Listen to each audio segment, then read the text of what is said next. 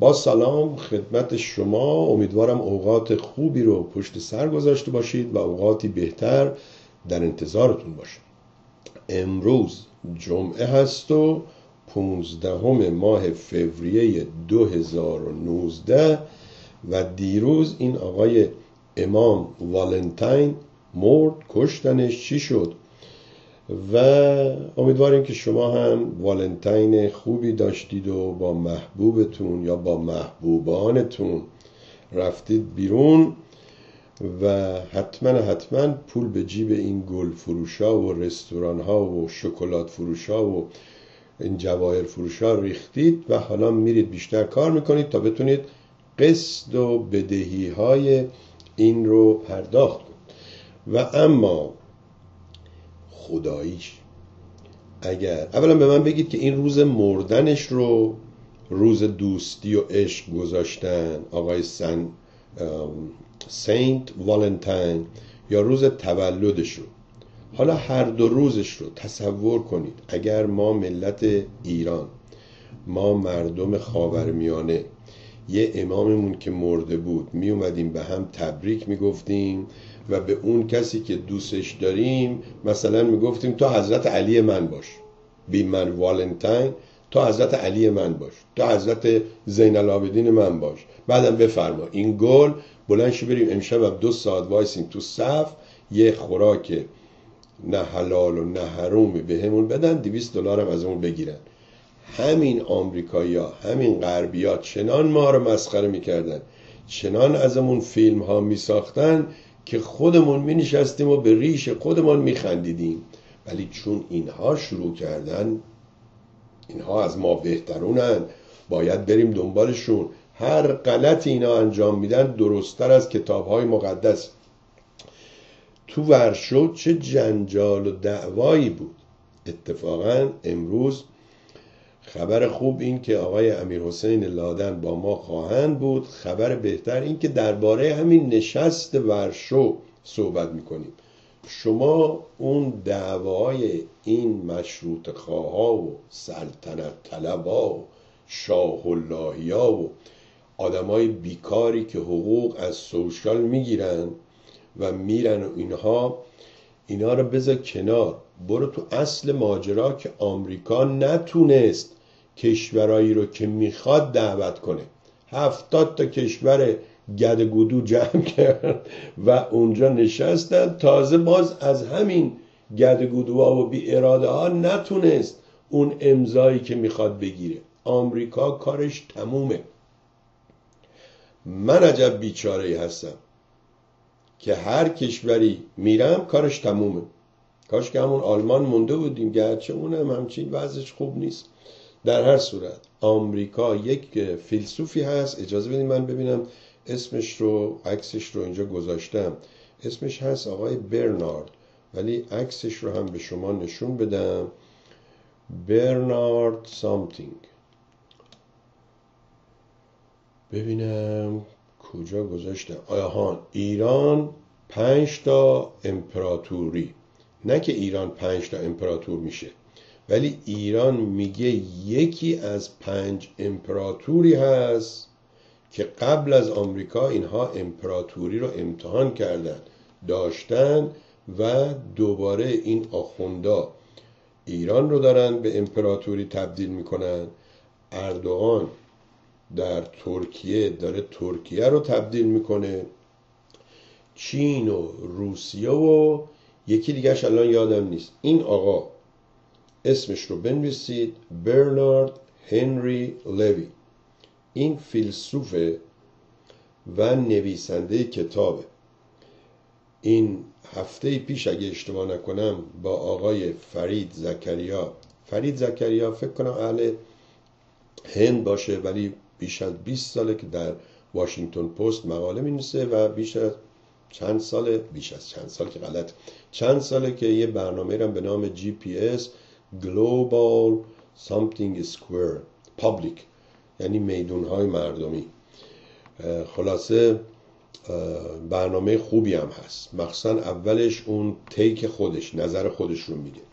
میگه اول سلام دوم درود سوم هلو یا هلو. ورشو هم فیلش موش زایید. والنتین باید هر روز باشد. هولا آمیگو این مکزیکو از همه ما زرنگتر. این آقا سعیده. با وجودی که تو کالیفرنیا هست میره مکزیکو میاد با این کاسبا و مردم دوست شده. فردا اگر اینجا وضعش بدتر از مکزیک شد پاشو می‌ذاره اون بر قشنگ همه راه و چار و بلده همه هم میشناسنش. یه دفعه باید بیام کالیفرنیا بریم با هم دیگه مکزیک. اگر تنها اومدم با شما تنها اگر با همسرم اومدم من و شما و همسرتون و همسر بنده بریم اونجا. یکی دو روز ببینیم شما چه خبره که میری اونجا. چیه؟ تکیلاشون خوبه. اتفاقا چند سال پیش آمدم اون نزدیکای چیز براتون عکسش فرستادم. یه رستوران و یه shopping center ی بود که خیلی معروف بود اونجا. و هیلاری کلینتون اونجا برنامه داشت. ما اونجا بودیم و بعد یادمه از اونجا وقتی میمدیم هتل به ما نشون می‌دادن که این زندانه رو می‌بینی؟ پاریس هیلتون تو این زندان است. گفتیم خب خب تو سر اون. ولی شما چرا به ما میگین؟ بگذاریم. بله این ماجرای هلو و درود و سلام و اینها. این دوست ما گفته که من نمیگم سلام نمیگم درود چون شما ناراحت میشی. آقا من نمی‌دونم واقعا ما ایرانی ها چرا اینقدر برداشتمون اشتباهه من کی گفتم ناراحت میشم؟ شما از صبح تا شب هی بگو درود درود درود ورود درود خروج. به من چه؟ منم اگه اومدم شما رو دیدم گفتم سلام. همون موقع برای من روزه کربلا نخون که پدر من پارسی شما باید بگی درود. ولمون که تو به خدا. به قول این شمالیا وا بده. و من چی کار دارم؟ شما فقط اون دوستمون از کانادا بهزاد گفت به این دوستان آقا بگو وقتی میگی درود به ما بگید درود ورود بفهمیم دارین میاین تو بگید درود خروج بفهمیم دارید میرید بیرون. چون بعضی از شماها پس و پیشتون یه شکله. دیگه اینم توضیح بهزاد بود. شما هم از این پیرنایی که آسینش دکمه سر آسین چی بهش میگن؟ هندکاف که نه. هندکاف یعنی دستمند بدتون میاد. من فکر می‌کنم اون کسی که دکمه رو درست کرده چقدر قشنگ این پیرن میومد رو این کم جا می‌گیره. این چه مزخرفیه که دو تا دکمه اینجوری کنیم مثل تنبونای آمریکا دیدید؟ ما اون وقتا کلاجی رو بیچاره رو اذیت می‌کردیم می‌رفتیم نزدیک بند تنبونش رو میکشیدیم چشمش نمی‌دید در می‌رفتیم تخص بودیم.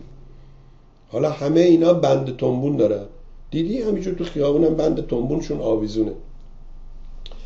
بله درود بر شما آقای سوروی درود بر شما آقای رجبی. سلام من به شما. گفت سلام بر تو ای دوست ای هموطن. سلامی که خیزد ز جان و ز تن. سلامی به گرمای آتش فشان کند. دیگه باقیش بلد نیستم. این رو آقای محمد علی ابو سالها پیش که در رادیو تلویزیون چشمانداز برنامه داشتیم پرسپکتیو اونجا این رو سرود چون ایشون از دوازده سالگی در ترکیه با نوشته های مولوی و مدرسه های اونجا آشنا شده و ذوق شاعری هم داره. میگه آقا بیا برویم پورتو والرتا مکزیک ببینی زندگی زیباست. این پورتو مثل پورتوریکو که حالا آقای ترامپ چشم انداخته به پولی که می‌خوان خرج این کنن این مثل شطوره کینهیه و می‌خواد اون پول رو صرف دیوار کنه. ولی میگه من دیوار می‌سازم. ما دیوارای قشنگ. طرف مسخرش می‌کرد می‌گفت که مکزیکیه با خانوادهش و اینها اومد. بعد گفت او مای گاد این دیوار چقدر زیباست. نه نه نه نه ما از این بالا نمیریم. برگرد بریم مکزیک. این مردک دو هزار مایل مرز مشترک مکزیک و آمریکا رو هنوز پنجا و پنج مایلش هم نساختن. هر روز میاد بگه البته داریم می‌سازیم ما یکی نیست بگه اگه داری می‌سازی. چرا داری مثل گداها دنبال پولش میگردی؟ از اون ور همین امروز که من با شما صحبت می‌کنم آخرین روزیه که دوباره اون سه هفته باورتون میشه آمریکا super power دنیا سر این بودجه مملکت. یعنی سر پولی که از من و شما می‌گیره می‌خواد خرج کنه. هی می‌رسن به بنبست هی این پوله رو نگه میدارن. اون به اون hard time میده. اون نگه میده hard time چی میشه به ایرانی بگیم تهدید می‌کنه اون یکی و اون به اون تهدید می‌کنه. همین امروز قرار امضا کنه که این نزدیک دو میلیارد دلار دو بیلیون دلار هرچی بدنش بره دیوال بسازه. دیدی بچه ها وقتی لج میرن؟ شما میگه حالا یه چی بخر بده دستش بره دیگه اینجوریه. بعد میگه من اینو امضا می‌کنم. این دو میلیون می... دو بیلیون رو می‌گیرم. بعدم میام امرجنسی سیچویشن یعنی وضعیت استراری اعلام می‌کنم. حالا وضعیت استراری چیه؟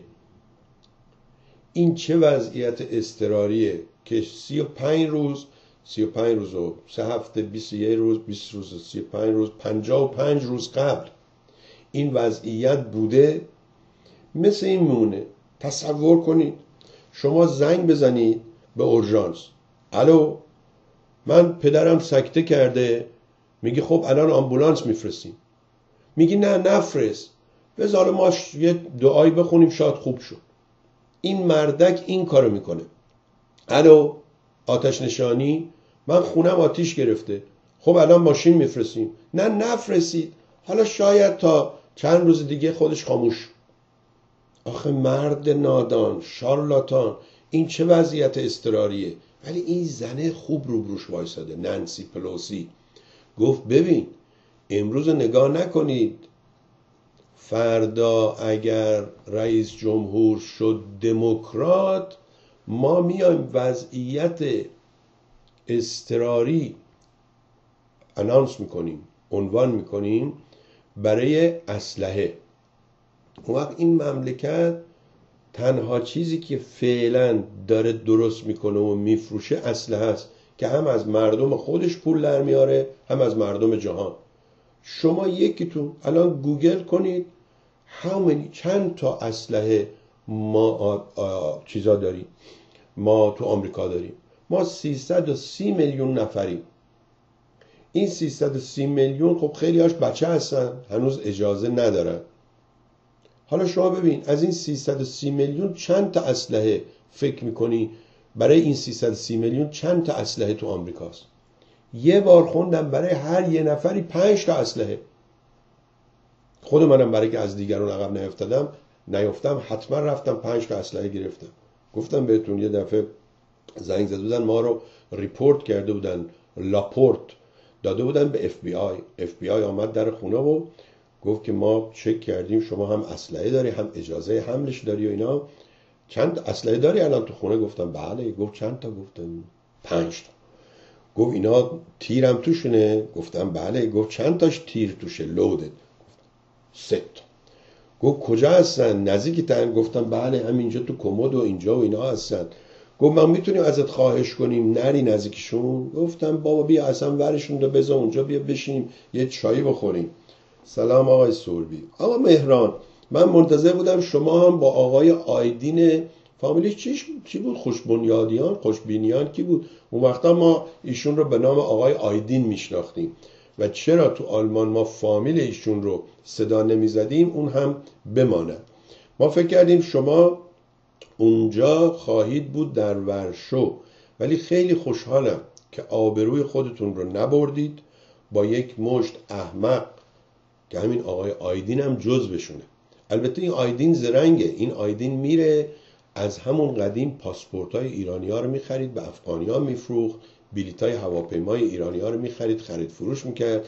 کسی که کاسب باشه ذاتش کاسبه این آمریکایی ها میگن مثلا once crazy always crazy. یه بار طرف دیوونه هست همیشه دیوونه است. یه بار نمی‌دونم اشتباه می‌کنه همیشه اشتباه می‌کنه. از چیاد میگن. اینا هم یه عمر کاسب بودن. روزی هم که می‌خوان بمیرن با اسرائیل معامله می‌کنن. و این خانم بیدخت که متاسفانه همشهری ما هست و اون کامران قاطری که رفته بود ترکستان بعد برده بودش خونه و با هم لاس و ماس و نمی‌دونم زیر لحاف و اینها بعد آمد گفت آقا این خانم رئیس جندخونه راه انداخته تو ترکیه. حالا بگذاریم ایشون جندخونه راه انداخته و نمی‌دونم دخترای ایرانی را ازشون استفاده می‌کنه و اینها. اونم دیگه شغلیه و میگن اولین شغل دنیا یا حتی دومین شغل دنیاست. نمی‌دونم اولینش چی دومیش چی. خلاصه این خانم بلند شده رفته تو اتوبوس دوربین رو برمیداره. آقا شما کی هستی؟ من آیدین فلانم. آفرین بر تو وطن پرست برانداز. اینا همه جا انداز و پا اندازن. کجا برانداز؟ اینا خاک اندازم نیستن. احمق. اوکی. شما کی هستی؟ تا دوربین رو می‌بره رو سر طرف طرف سرشون کنه پایین. این پدر سوخته از اونایی که مامور سواکه تو ایران حقوقش رو می‌گیره خونش هم داده اجاره. بعد حالا هم توی آمریکا و لهستان لهستان نیستن. توی اروپا و اینها دارن حقوق سوسیال رو می‌گیرن و از بیکاری جمع میشن میرن. به خانمش میگه میای بریم؟ خانم میگه نه من پام درد می‌کنه. میگه خب خودم میرم. حالا شاید یک کسی هم اونجا تو تورمون خورد بالاخره میرم یه آقای برای من نوشت این آقای انصاری که شما اسمش آوردی وزیر بختیاری وزیر بختیار بوده میگه در یکی از این نشستهایی که تو همون فرانسه همون موقعی که فرار کرده بوده از ایران آمده بوده شب میرن خانم بازی بعد میگه میاد با آب و تابم برای دیگران تعریف می‌کنه راجع به خانم بازی. یا آقای هست لب درشت داره اینجوری حرف می‌زنه. اسمش یادم رفته الان. ولی یکی از وزیرای بختیار بوده. و میگه همه بهش گفتن آخه تو خجالت نمی‌کشی. مثلا حالا خانم تو همین هتل طبقه بالا تو اتاقشه. اون وقت تو رفتی جنده بازی حالا اومدی از جنده بازی با آب و تاب برای دیگران تعریف می‌کنی؟ شاید می‌خواسته بگه هنوزم می‌تونه غلطی بکنه. بگذاری نشست ورشو و شرکت هفتاد کشور و هفتاد احمق اینایی که سوار اتوبوس شدن رفتن. همدیگر رو اونجا زدن. از همهشون احمقتر این علی جوانمردی. من حالا برای اولین بار گوشش رو دیدم. این مثل که کشتیگیر بوده. از اینایی هم بوده که روز اول که می‌رفتن کشتی گوش خودشون رو میشکستن. خیلی جالبه. داداش من تو ایران اولی که ما خواستیم بریم کشتی گفت این دوتا یه تومنی رو همیشه همراه داشته باش با یک تیوب موتورسیکلت. موقع کشتی این یه تومنی ها رو بذار رو گوشت این تیوب هم بنداز رو سرت که گوشات نشکنه. چون مردم وقتی گوشت رو نگاه می‌کنن می‌بینن شکسته فکر می‌کنن جزام داری خنزیل داری. خنزیل به چیز میگن؟ نه به خوک. خوک وحشی رو میگن خنزیل و ما سعی می‌کردیم که گوشمون نشکنه. اینا روز اولی که میمدن حتی بلد بودن. می‌گفتن برو پنجره آهنی اوه پنجره آهنی ایران یادتونه؟ می‌گفتن در رو باز کن گوشت و بذار لاش بیار. همچین که گفت جرق این شکسته و چون قضروفه ترشح می‌کنه دیگه هیچ کم نمی‌تونه درستش کنه. خب یه ادم واقعا کشتیگیر بودن. توی کشتی این فشار میمد اینجوری میشکست و اینا. دیدم این آقای جوانمردی گوشش هم پره. حالا می‌دونید این گوش پر اولا دو سه تا اشکال میاره شما جهت صدا رو تشخیص نمیدی. وقتی که گوشت اینجوری باشه جهت صدا رو تشخیص نمیدی. به نظرم اینم هم همین مورد اشکال رو پیدا کرده آقای جوان مردی بیچاره. حالا درست تو کردی. درسته بالاخره پولی از کردا بهتون میدن از احزاب مختلف میدن. و چون از احزاب مختلف پول می‌گیری باید بگی من جزو هیچ حزبی هم نیستم. ولی جوون مرد حسابی خجالت نمی‌کشی با یه مش عقب افتاده سیاسی. با یه مشتی که والا قاجار از اینا بهتر می‌فهمید. قاجار قرن 19 هم اولای 20 بوده دیگه نه؟ از اینا بیشتر می‌فهمید. برو آقا دنبال زندگی رفتی اونجا فوشت میدن بهت میگن مزدور بهت میگن خواه ناگفته نماند. خود من همچین اشتباهی کردم. سالها پیش یه آقای بود به نام عزت الله ملکوتی. امیدوارم هنوزم باشه و سلامت باشه. ایشون آمد و به من گفت که آی سوربی بیا بریم یه برنامه توی واشنگتن. گفتم برای چیه؟ گفت دوستان سلطنت طلب برای من فرستادن ولی همه می‌تونن بیان. بیا بریم و می‌خوایم جلو وزارت امور خارجه چیز کنیم. گفتیم باشه. بلند شدیم رفتیم و منم رفتم دنبال ایشون. خونش نزدیک خونه ما بود. سوارش کردیم و رفتیم اونجا. همچین که بلد بودم اون دور برای خیابون 21 و اینها. ماشین رو پارک کردیم که بیایم بریم. یه خانمی بود اینجا به نام خانم قفوری یه فامیلی هم داشت. مرد چند مدت پیش خدا بیامرزدش این کسی بود که اینجا مدرسه فارسی رو بنا گذاشته بود و اونم یکی از همین پیروپاتالای دوگمی بود که فکر می‌کرد شاه بوتی هست که می‌تونه اینو نجات بده. در هر صورت این خانم خانم مهین قفوری یه چیز دیگه بود. دهیمی. که هر وقت بهش می‌گفتی دهیمی می‌گفت من قفوری هم هر وقت قفوری می‌گفت من دهیمی هم می‌گفت بابا هر شتی می‌خوای باش ولمون کن. در صورت تا منو دید گفت آقای سربی شما اینجا چه کار می‌کنی؟ من هیچی نگفتم. این آقای ملکوتی بهش گفت خانم من یک ساعت از این جوان اون موقع جوان بودم از این جوان خواهش کردم که بیاد اینجا. شماها چرا با نفهمیتون افراد رو اینجوری از خودمون به اصطلاح دور می‌کنید. خلاصه اون یکی دیگه گفت آقای سربی شما که مخالف شاه هستی شما اینجا چیکار می‌کنی؟ به آقای ملکوتی گفتم آقای ملکوتی من میرم همونجا که ماشین پارک کردیم وای میسم تا شما کارت تموم بشه بیای یا خودت با تاکسی برو. گفت می‌دونی چی آقای سربی؟ منم باهات برمیگردم. بی بریم. اینها لیاقت ندارن. بیا بریم. حالا این برنامه ها رو برید نگاه کنید تو فیسبوک. ببینید برخوردشون با علی جوان مردی برخوردشون با همون بیدخت خانم رئیس. برخوردشون با همدیگه چیه؟ من نوشتم این احمقا هنوز جنگ نرفته در پی تقسیم قنائم با هم دعواشون شده. حالا ببینید اگر یه روزی جنگی بشه و اینها برن قنیمتی به دست بیارن این قنائم رو آتیش می‌زنن تکه تکه می‌کنن چون بلد نیستن که حتی با هم تقسیم کنن. این آخوندا ببین تا یه برنامه پیش میاد میگه مسلحت نظام بالاتر از مسلحت شخصیه. یعنی چی؟ یعنی اگر این کشتی نظام داره سوراخ میشه فوری طرف تیاش ور نمیداره بره. حتی اگه شده انگشتش رو بکنه تو این سوراخ. دستش رو بکنه تو این سوراخ. بچهش رو به تپونه تو این سوراخ جلوگیری می‌کنه از اینکه آب وارد کشتی نظام بشه. و درست برعکس شاه و طرفدارانش که همه ترسو همه بزده هر کدومتون بزده نبودین بیاین اینجا. شما یکی یکی عکساشون رو نگاه کنید. ببینید چیه؟ یکیش تاج گذاشته یکیش شیر گذاشته یکیش الاغ گذاشته. رفتن پشت سر اون قایم شد. بمانه. میگن واقعا بی حساب کتاب رفتار می‌کنیم. من نمی‌دونم. اون وقت می‌خوایم وطن بسازیم. آخه با چی؟ و چیمون افتخار می‌کنیم؟ همش میگیم کوروش بزرگ. اما هیچ کس یکی از گفتار کوروش بزرگ را عمل نمی‌کنه. آقای مهران دیدی حالا به قول شیرازی ها کاکو جون ما هم همین جایی که شما بودید بودیم.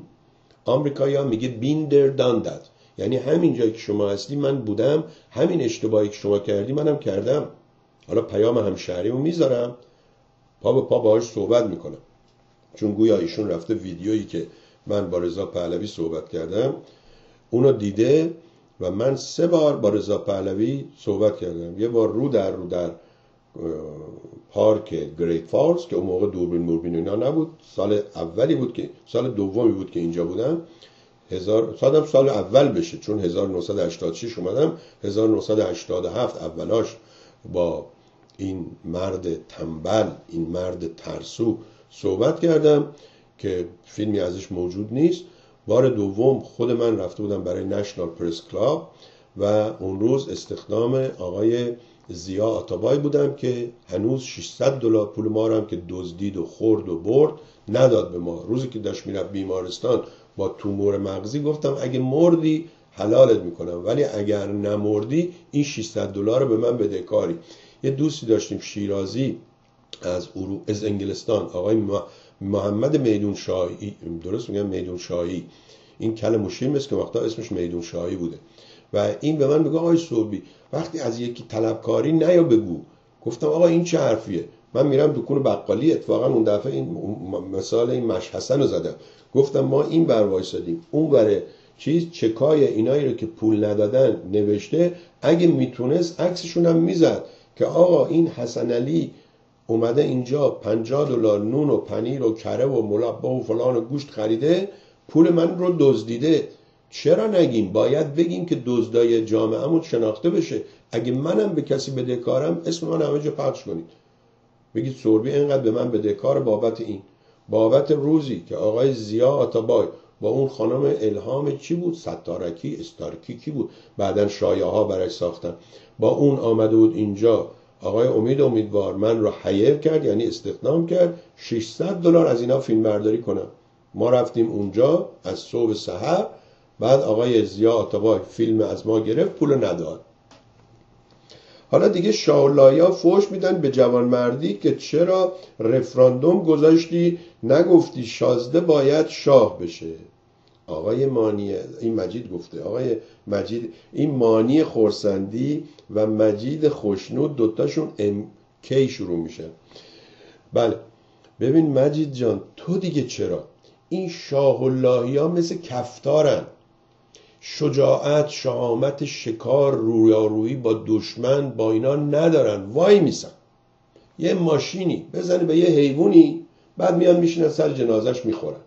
وای میسن. دو نفر دعواشون بشه یکیش مغلوب بشه یکیش غالب بشه غالب دیگه خسته میشه ول می‌کنه میره اینا میرن اونجا. اینا شما ببین یک دونه فراخان آخرین فراخانی که آقا رضا پهلوی داده کی بوده؟ حالا دیدم دخترشون آمده یکی از جوانان وطن پرست یه پسری زیر ابروهاش هم ورداشته اینجوری و اینا. همه جاش مثل خر زنگوله آویزون کرده به خودش. گفتم حتما اینم فردا با این یه بچه درست می‌کنه.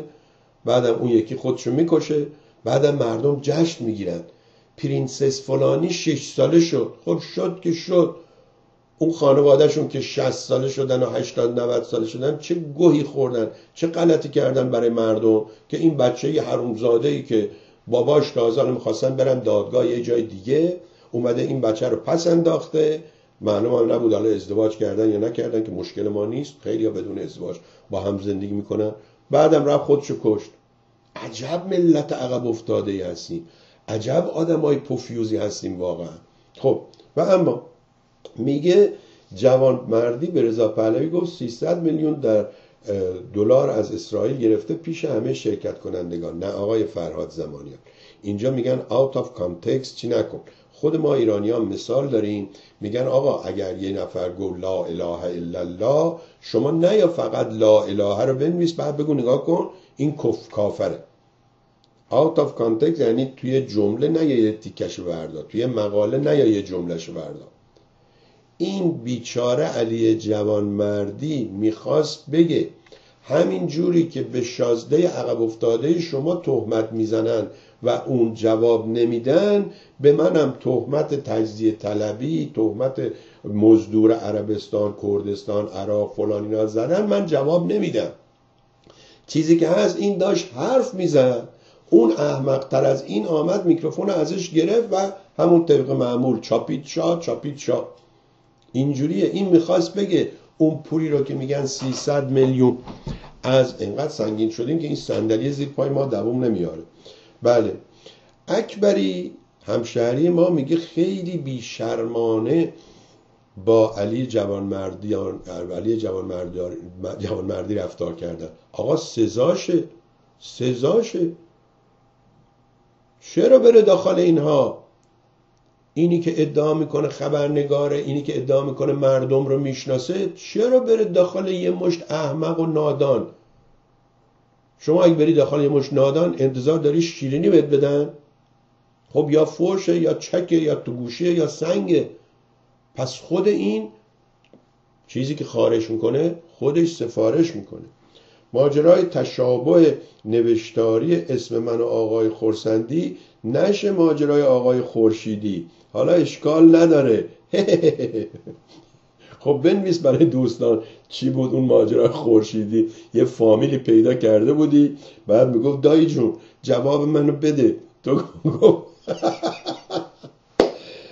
خب دوستان عزیز طرفداران رضا پهلوی تجزیه طلبان سفرهای خوشگذرانی ترامپ ماجرای دیوار و اعلام حالت اورژانس.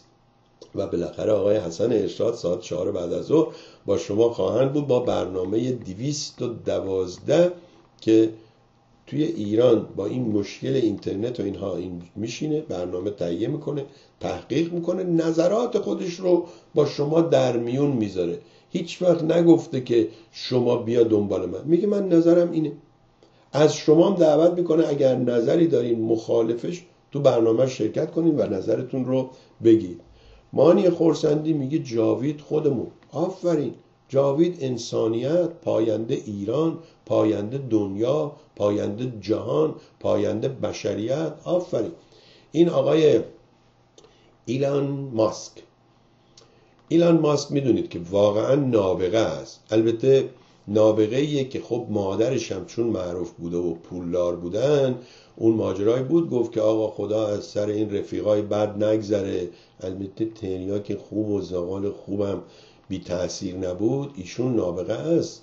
ولی ارتباطات نفوذ و پول هم به اصطلاح بیخود نبود. ماشین تسلا رو ساخت که هنوز که هنوزه داره ضرر میده ولی مردم هم میرن چیزاشو می‌خرن. راستی این ماجرای بیت کوین به کجا رسید؟ میگن صاحبش مرده یا یکی دیگه که صدها میلیون دلار ریخته بوده مرده. عجب واقعا یکی میاد. از این رضای بود باباشم کامیوندار بود.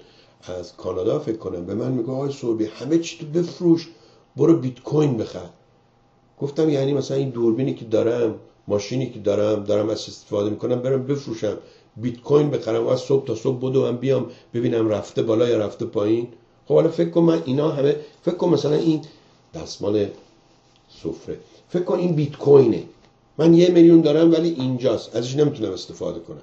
چه فایده داره؟ این ماشینه که اقلا سوار میشم میرم دوستانم می‌بینم. فردا زور قراره برم با یکی از دوستان نهار بخورم. خب و اما اینجا نوشتم که حسن ارشاد پیام همشهری. بریم. پیام همشهریمون رو بذاریم و ایشون باعث شد که من یه زنگی هم به آقای حسن اجلالی بزنم. کارشناس ارشد حسن اجلالی. اولین کسی که کامپیوتر بردن توی اون وزارت دارایی ایران با وجود که رشتهش مهندسی مکانیکه بعد رفته تو کار کامپیوتر بعد که اومده اینجا بیشتر علاقه داشته به کار سازندگی همون بنایی و اینها. و هنوز که هنوزه و بیش از 80 سال سن داره کار می‌کنه. ماشاءالله از من قویتر. از من سرحالتر و هر وقت این کارگرای اسپانیش رو هم استخدام می‌کنه بازوهای اینا رو ماچ می‌کنه. اول اینا فکر کردن این دیوونه است. یا این خدای نکرده هم جنس بازه. بهشون گفت نه من از شما ممنونم که این بازو گریس البو فلان توان قدرت شما هم به شما نون میده هم به من. و حالا دیگه همه میشناسنش. بله آقای لطیف زمانی هم درود بر شما. متشکرم. خسته نباشید. مرسی. میگه بدبختیمون هم همینه. آقای مانی خورسندی من از چندین بدبختی صحبت کردم. شما کدوم یکیشو میگی همینه؟ یا با کدامین ها با من هم عقیده ای میگه ما هم همه مشکلات ما ختنه بد است. این ماجرا ختنه بد. یه فیسبوکی لینکش رو گذاشته. مجید خوشنودی حتما برید ببینید و خیلی جالبه تو برنامه تلویزیون ایران. حالا بعد از اینکه آخونده میاد میگه هر جا دلتون خواست عشق بازی کنین و حتی رو شطور رو تو ماشین پراید و فلان اینا اگه یه ماشینی دیدید توش بخار پیچیده حمام سونا نیست. اینا دارن توش گوجی گوجی می‌کنن و اینها که آدم باورش نمیشه. آقا این آخونده هستن که استمسل یا اون سلول های بنیادی و نمی‌دونم تولیدات کلون چی میگن شبیه سازی و اینا رو احمق جورج بوش گفت نه آخونده گفتن بله. جنسیت عوض کردن زنا بشن مرد مردا بشن زن. این عقب افتاده های آمریکایی گفتن نه خمینی گفت بله. و حالا هم تو تلویزیون آخوندا که اسمشو گذاشتیم پشم شیشه این ور سفیده اون ور سیاهه این درسا رو میدن. اون دکتر انوشه میاد میگه خانم این آقایون رو در منزل سیر کنید. حتی اگه شده با یه ساندویچ کالباس با یه نون و تخم‌مرغ چون اگه اینا سیر نباشن میرن تو خیابون ساندویچ می‌خورن ها. ساندویچ های رنگارنگ تو خیابون ها. بعدم میگه حالا فهمیدین منظور من چیه؟ بمانه. از اون برم البته میگه. میگه آقایون شما هر وقت می‌خواین سکس داشته باشین فکر نکنید این مثل خرسواریه باید پرید روش حاضر باشه بره. میگه خانم ها برعکس آقایون هستن. خانم ها اول باید احساساتشون آماده بشه تا بعدا سکس داشته باشن. آقایون اول می‌خوان سکس داشته باشن بعدا احساساتشون روشن بشه. اون موقع که می‌خوان بخوابن یا تلویزیون نگاه کنن. کارمون خیلی خرابه. خداییش. برو بالا. میگن به رضا پولوی جدیدن میگن کودک مصفی نمی‌دونم یعنی چی. تاماس هافمن. بله نمی‌دونم. مصفیه نمی‌دونم. در صورت این کودک قدیمه دیگه الان 58 سالش هست. چهار سال از من کوچیک‌تره 58 سالشه و توی شیراز اون وقتا می‌گفتن بابا طرف قد خر سید احمد سن داره. سید احمد یه نفر بود که بقالی دار بقالی هم نداشت. یه دکونی باز کرده بود همینجور چیزای مردم که لازم دارن میذاش اونجا. بعد اولاغ هم داشت برای این اون بار می‌برد. و ما به پسراش دوست بودیم. یادمه اسم پسر یکیش علی بود. بعد هر کی میگو علی یکی می‌گفت علی سید احمد. یعنی علی که بچه سید احمده. یعنی با وجودی که فامیل به ما داده بودن و لطف کرده بود البته آقای رضا شاه به ما فامیل داده بود باز ما مثل همون روش قدیم فلانی پسر فلانی. اینجوری عمل می‌کردیم پیام رفیق چی شد؟ ممنونم که یادآوری کردی. وایسا بشنو از من چون حکایت می‌کنم. داداشت گفت اون حکایت های نی نغمه های نی و قصه های نی از وز جدایی ها شکایت می‌کنم. بشنویم این دوستمون رو یازده و نوزده دقیقه دیروز صبح اولین پیام رو گذاشته با هم گوش می‌کنیم. شما هم می‌تونید پیام بذارید. پیامتون رو اگه در رابطه با برنامه باشه من پخش می‌کنم. این چون در رابطه با والنتین و شعر و شاعری و آقای اجلالی و دشمنی من با رضا پهلوی گفته یعنی به همه چی مربوطه دیگه چهار بار پخش می‌کنم. حاضرید؟ برای بار اولش پخش کنم بشنوید. و من یک مسابقه قیابی فکر کنم مسابقه قیابی هم این فکر من بود اختراع من بود که به جایی که هی بپریم حرف همدیگر رو قطع کنیم میگم شما مسیج بذار. قشنگ سر دل استراحت. منم مسیجت پخش می‌کنم. هر وقت چیز شد اینجا استاپش می‌کنم صحبت می‌کنم. بریم با هم دیگه. اگه این دوستمونم شروع می‌کرد اسمش رو می‌گفت خیلی بهتر بود. هم من شرمنده نمی‌شدم بگم اسم ایشون رو نمی‌دونم. همین که دوستانم خب بشناسن چه عیبی داره. یه نفر نوشته بود اینایی که خارج هستید. اگر فیسبوکتون عکس نداشته باشه من میندازمتون بیرون. حالا اونی که داخله میگه آقا من آخوندا فلان بیسارن که بابا ببینید اونایی که داخلن چقدر از ما شجاعتر با شهامتتر. و چه کارها می‌کنن که من و شما تو خارج جرأت نداریم. بشنویم. ممنونم از این دوستمون دو تا پیام گذاشته. هر آه موسفید. آها تماس نوشته بهش میگن کودک. وای وای وای. کودک موسفید. به رضا امروز روز دوستدارانه. یه شعر براتون می‌خونم میگن روز اشاق نقمه بلبل شیراز نرفته از یادم. دوستان من کنندم که چرا دل به تو دادم؟ باید اول به تو گفتن که چنین خوب چرایی. امیدوارم خوب باشی و خودتو خانوادت.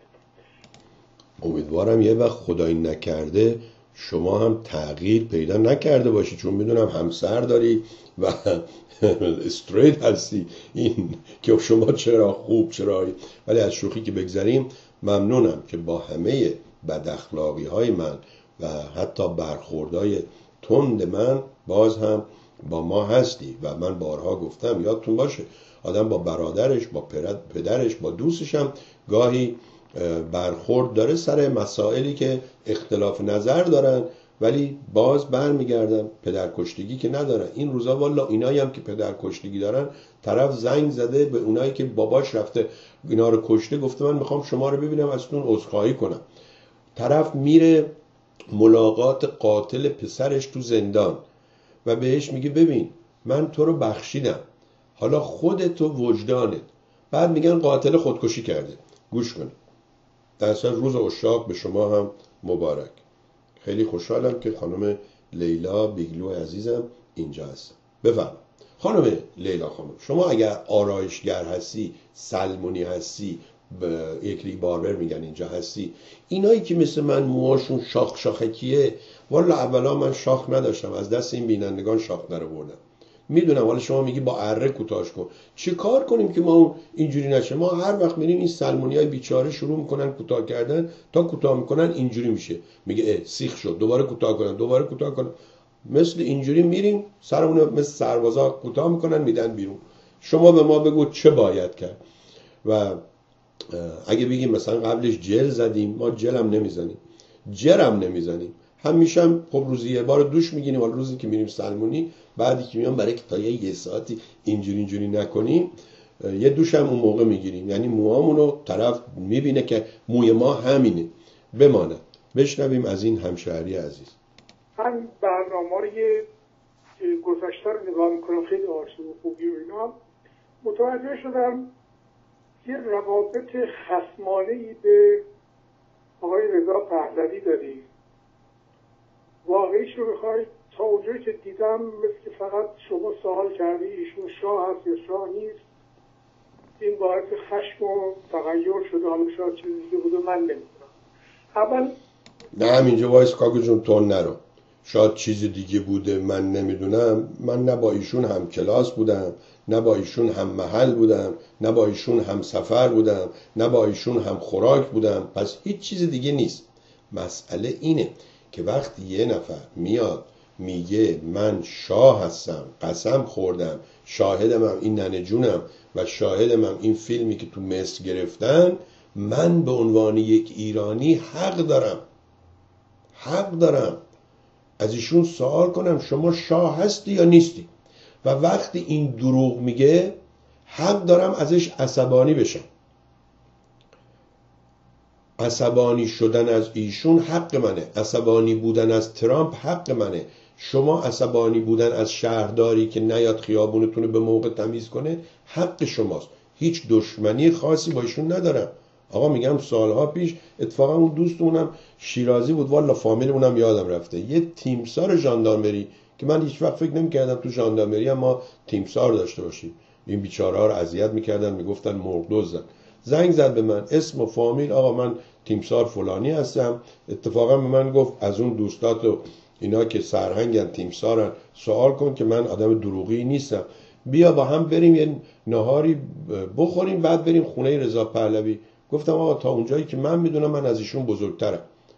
بعدم من به نهار شما احتیاج ندارم چون اگه نهار شما رو بخورم من نمگیر میشم. هر شما گفتی باید اگه مخالفشم بودم اینجوری کنم. اگه ایشون با من حرفی داره جای من معلومه. اون موقع استودیو رنگارنگ بودم. بیاد اینجا صحبت کنه. ما بارها گفتیم. حتی من یه بار زنگ زدم به دفترش. اون آقای خانم وفایی گفت اوکی رو گوشی رو, گوشی رو داشته باشید الان میاد. منم به مردم گفتم این گوشی. ولی این نمیاد. این ترسوه. این فقط میره شهرام و همایون این برور که بهش میگن شازده شازده. منی که بهش میگم آقای رضا پهلوی این لیاقت آقای رضا پهلوی رو نداره. این لیاقت اینو داره که کسی نشناستش. بگه تو فرزند فلانی هستی. حالا اون فلانی کی بوده؟ یه آدم بی سواد نادانی که امروز این آخوندا نتیجه خوراک دیروز بدی هست که ما خوردیم. هیچ مشکلی بنده با ایشون نداشتم. ندارم نخواهم داشت. ولی خداییش اگه بخوای وقتی اقرار می‌کنه که 62 میلیون دلار پول داشته خب میشه بگی که دو دلار از این پول مال من بوده که ایشون دزدیده. پس میشه بگیم که تازه اگه 62 میلیون رو درست بگی. چون آقای انصاری گفت این یک رقم از ارقامی هست ارقام نجومی که اینها دزدیدن و با خودشون آوردن. میگه که آقای سربی بدی حق مسلم شماست. کلک خودتو خارج کردی. این شعاره همیشه حق مسلم ماست. شما هم حق داری بد باشی بله. خب بریم ببینیم چی میشه. یه موقع باید زنگ بزنم اینا رو باید صحبت بکنم تلفن بزنم مسیج بذارم نمیای که. نمیاد به قول آمریکایی پرامیس پرامیس پرامیس همش قول میدی قول میدی قول میدی. البته دیدید میگن اینم مثل قول بچگیاته. هیچ وقت از خودتون پرسیدید قول بچگی ها یعنی چی؟ واقعا یعنی چی؟ که اونایی که بد قول بودن بچگی ها وضعشون بهتره. اگه خوش قول بودی وضعت خیلی بده. سر قول رفته باشی. بله. بماند. شما قول میدی نمیای سالها پیش قرار شد بیای صحبت کنید. شما چون هم می‌دونی مطالعت زیاده هم تجربت زیاده هم حرف برای گفتن داری ولی یا وقت نداری یا ببخشی شهامت نداری. داری داری داری این دوتا نداری زورشون از اونا بیشتره. شهامت شجاعت وقت. در منتظر شما هستی. من سلام می‌کنم به آقای نیساری و دوستان دیگه که به ما پیوستن. خوشحالم که با ما هستیم میگه رو نکن دیگه سوربی جان. چشم. اگه دوست داشتی می‌تونی پخش کنی. اگه دوست داشتی که پخش کن آقای اجلالی رو من خیلی وقتی می‌شناسم. ازش نشونه میدم. ایشون بگید یه نفر هست که از خیابون 16 نورت واشنگتن دی سی قبل از میلیتری رود یه منزل بود به عنوان مسجد استفاده می‌کردن. بله ما در خدمت ایشون و بیشتر دوستان بودیم. خب چون من نه نماز میخوندم و نه قرآن بلد نبودم بخونم اینه که سعی می‌کردم با بچه های کنفدراسیون همراه بشم. آخرین. دوستان همینو دقت کنید. ببینید اون پایگاه های ضد شاه که خود شاه تو ایران درست کرده بود مساجد. و ببینید اینجا رفتن یه خونه ای رو اجاره کردن کردنش مسجد. ولی ببین چقدر زبل بودن این طرفداران خمینی. آمدن گفتن آقا تو هم که کنفدراسیون هستی این کنفدراسیون ها همشون به اسم کمونیست شناخته می شدن چون شاه نادان هر کسی رو که مخالفش بود فکر می‌کرد چون شاه با خدا هست این کمونیست. در صورت که اینجوری نبود. اصلا طرف میگه آقا من نمی‌دونم کمونیست چیه. خود من یک من نمی‌دونم. تازه ما مخالف شاه هم نبودیم. ولی ببینید اینا چه زبل بودن. اینا رو تو جمع خودشون راه می‌دادن. بشنوید. تظاهرات رو شرکت کردم و شما مکساشو می شما با شما امریکا نبودید. بعدا که شما مریض بود و در بیمارستان بود من به بچه ها گفتم آقای این رفتن نیویورک کار درستی نیست. یه خورده درگیری پیدا کردیم و من از اون موقع دیگه گفتم آقا خدا حافظ بنده سیاسی نیستم هیچ نو قدمی هم بر نمیدارم. این از این موضوع. وقتی شما اینو گفتی من گفتم خب آفرین به همشهریمون دیگه گفته آقا این مریضه داره میمیره دست از سرش برداریم. ولی یه سوالی اگه اونها نرفته بودن جلو بیمارستان اگه اونها نرفته بودن تظاهرات کنن آیا دولت آمریکا حالا یا میگن دسیسه کرد چهار رو کشت یا کشتون دانش هرچی یا فرع پهلوی فلان بیسار اینا. اونا نمی‌گفتن خب این ملت حالا گفتن مریضه دیگه ولش کردن ما بریم هر کاری می‌خوایم بکنیم و مثل کودتاهایی که انجام شده برگرده دوباره به کشور. نظر شما راجع به اون چیه؟ و اینکه شما گفتید پیام می‌ذارید اگه خواستیم پخش کنیم حتما این کار می‌کنیم. فقط شما هفته پیش یه پیام گذاشتی و چون گفتی برای خود من هست پخش نکردم. ولی دوستان شاهدن که ما هر وقت پیامی از شما داشتیم پخش کردیم این مصاحبه قیابی رو انجام دادیم. بشنم آها با آقای اجلالی تماس گرفتم. گفتم آقای اجلالی مدت ها بود می‌خواستم با شما تماس بگیرم چون گفته بودی که به زودی برنامه رو میفرستی تا ما روی فیسبوک بزنیم روی مردم تیوی بزنیم و اینها. و چی شد؟ ضمنا امروز یه دوست همشهری زنگ زد باعث شد که من به شما زنگ بزنم. گفت شما باور نمی‌کنی. من پنج روز هست که هی به خودم میگم الان زنگ بزنم به سوربی شب زنگ بزنم صبح زنگ بزنم و میگذره. و این قدرت تلپاتی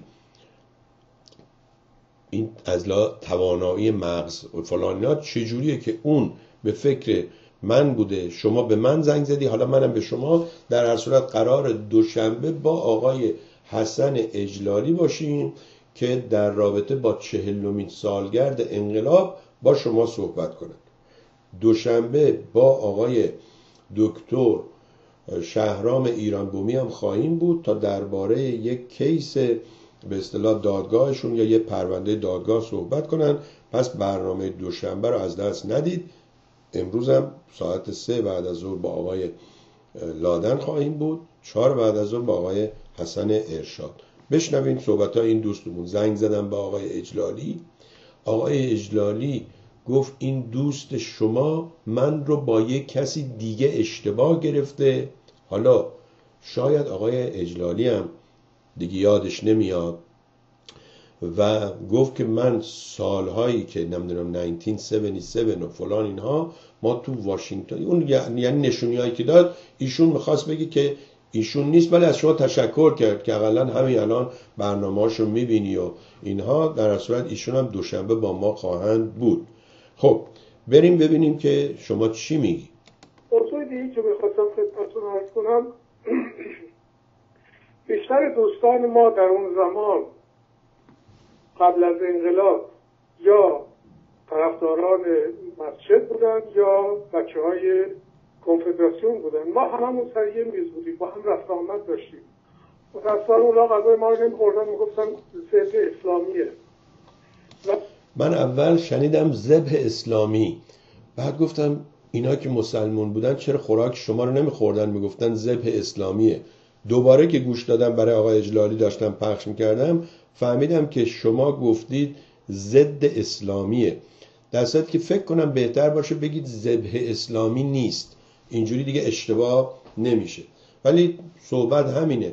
من نوم هنوز سه سالش نشده. گاهی وقتا یه چیزی میگه می‌فهمه که من متوجه نمیشم برم یواشتر میگه. این قسمتی که انگلیسی اون خوب نیست. وقتی می‌بینه متوجه نمیشم یه اسم دیگر رو میاره. ربطش میده نشونی میده اینها. در صورت مهم اینه که من و شما بتونیم با هم ارتباط برقرار کنیم. بله به این دلیل که خوراکی که شماها درست می‌کردین اونها می‌گفتن ذبح اسلامی نیست. با شما خوراک نمیخوردن اگه اشتباه نکنم آقای طالقانی و همین خامنه اینا تو زندان اون آقای اسدینا تعریف می‌کنن که میگن که اینا سر مثلا یه سفره می نشستن ولی خوراک ها رو نمیخوردن چون می‌گفتن شماها نجس هستید فلان و بیسان بماند یه چیز جالب تری به شما بگم که هیچ کدوم از بچه های قدیمی حتی حاضر نیستن گفتگو کنن. این خیلی بده. و اون اینه که خب سه دقیقه تموم شد. بریم دقیقه سوم تا شیشم هم گوش بدیم و اگه لطف کنید دفعه دیگه اینا رو بنویسی. باور کن تو همین سه دقیقه شما می‌تونید ده تا مطلب رو بگید. به همین خاطره که اینایی که گوینده هستن مجری هستن لکچرر هستن توی جایی یادداشت می‌نویسن. آقا طرف می‌خواد بیاد راجع به کتاب خودش صحبت کنه. یادداشت می‌نویسه. احمقایی که تو اون جلسه هستن بیشتر ایرانیا میگن آقا این کتاب اگه مال خودشه چرا یادداشت نوشته؟ این نشون میده این بزغاله ها تو چهار تا دانشگاه نرفتن که طرف که میاد اونجا حتی کتاب خودش رو باز می‌کنه از رو کتاب خودش می‌خونه. نویسنده وقتی برنامه می‌ذاره برای کتابش از رو کتاب خودش می‌خونه برای مردم. بمانه. بریم سراغ پیام دوم شما 11 و 22 دقیقه دیروز باز هم با شما هستیم. بفرمایید. یکم طول می‌کشه این باز بشه.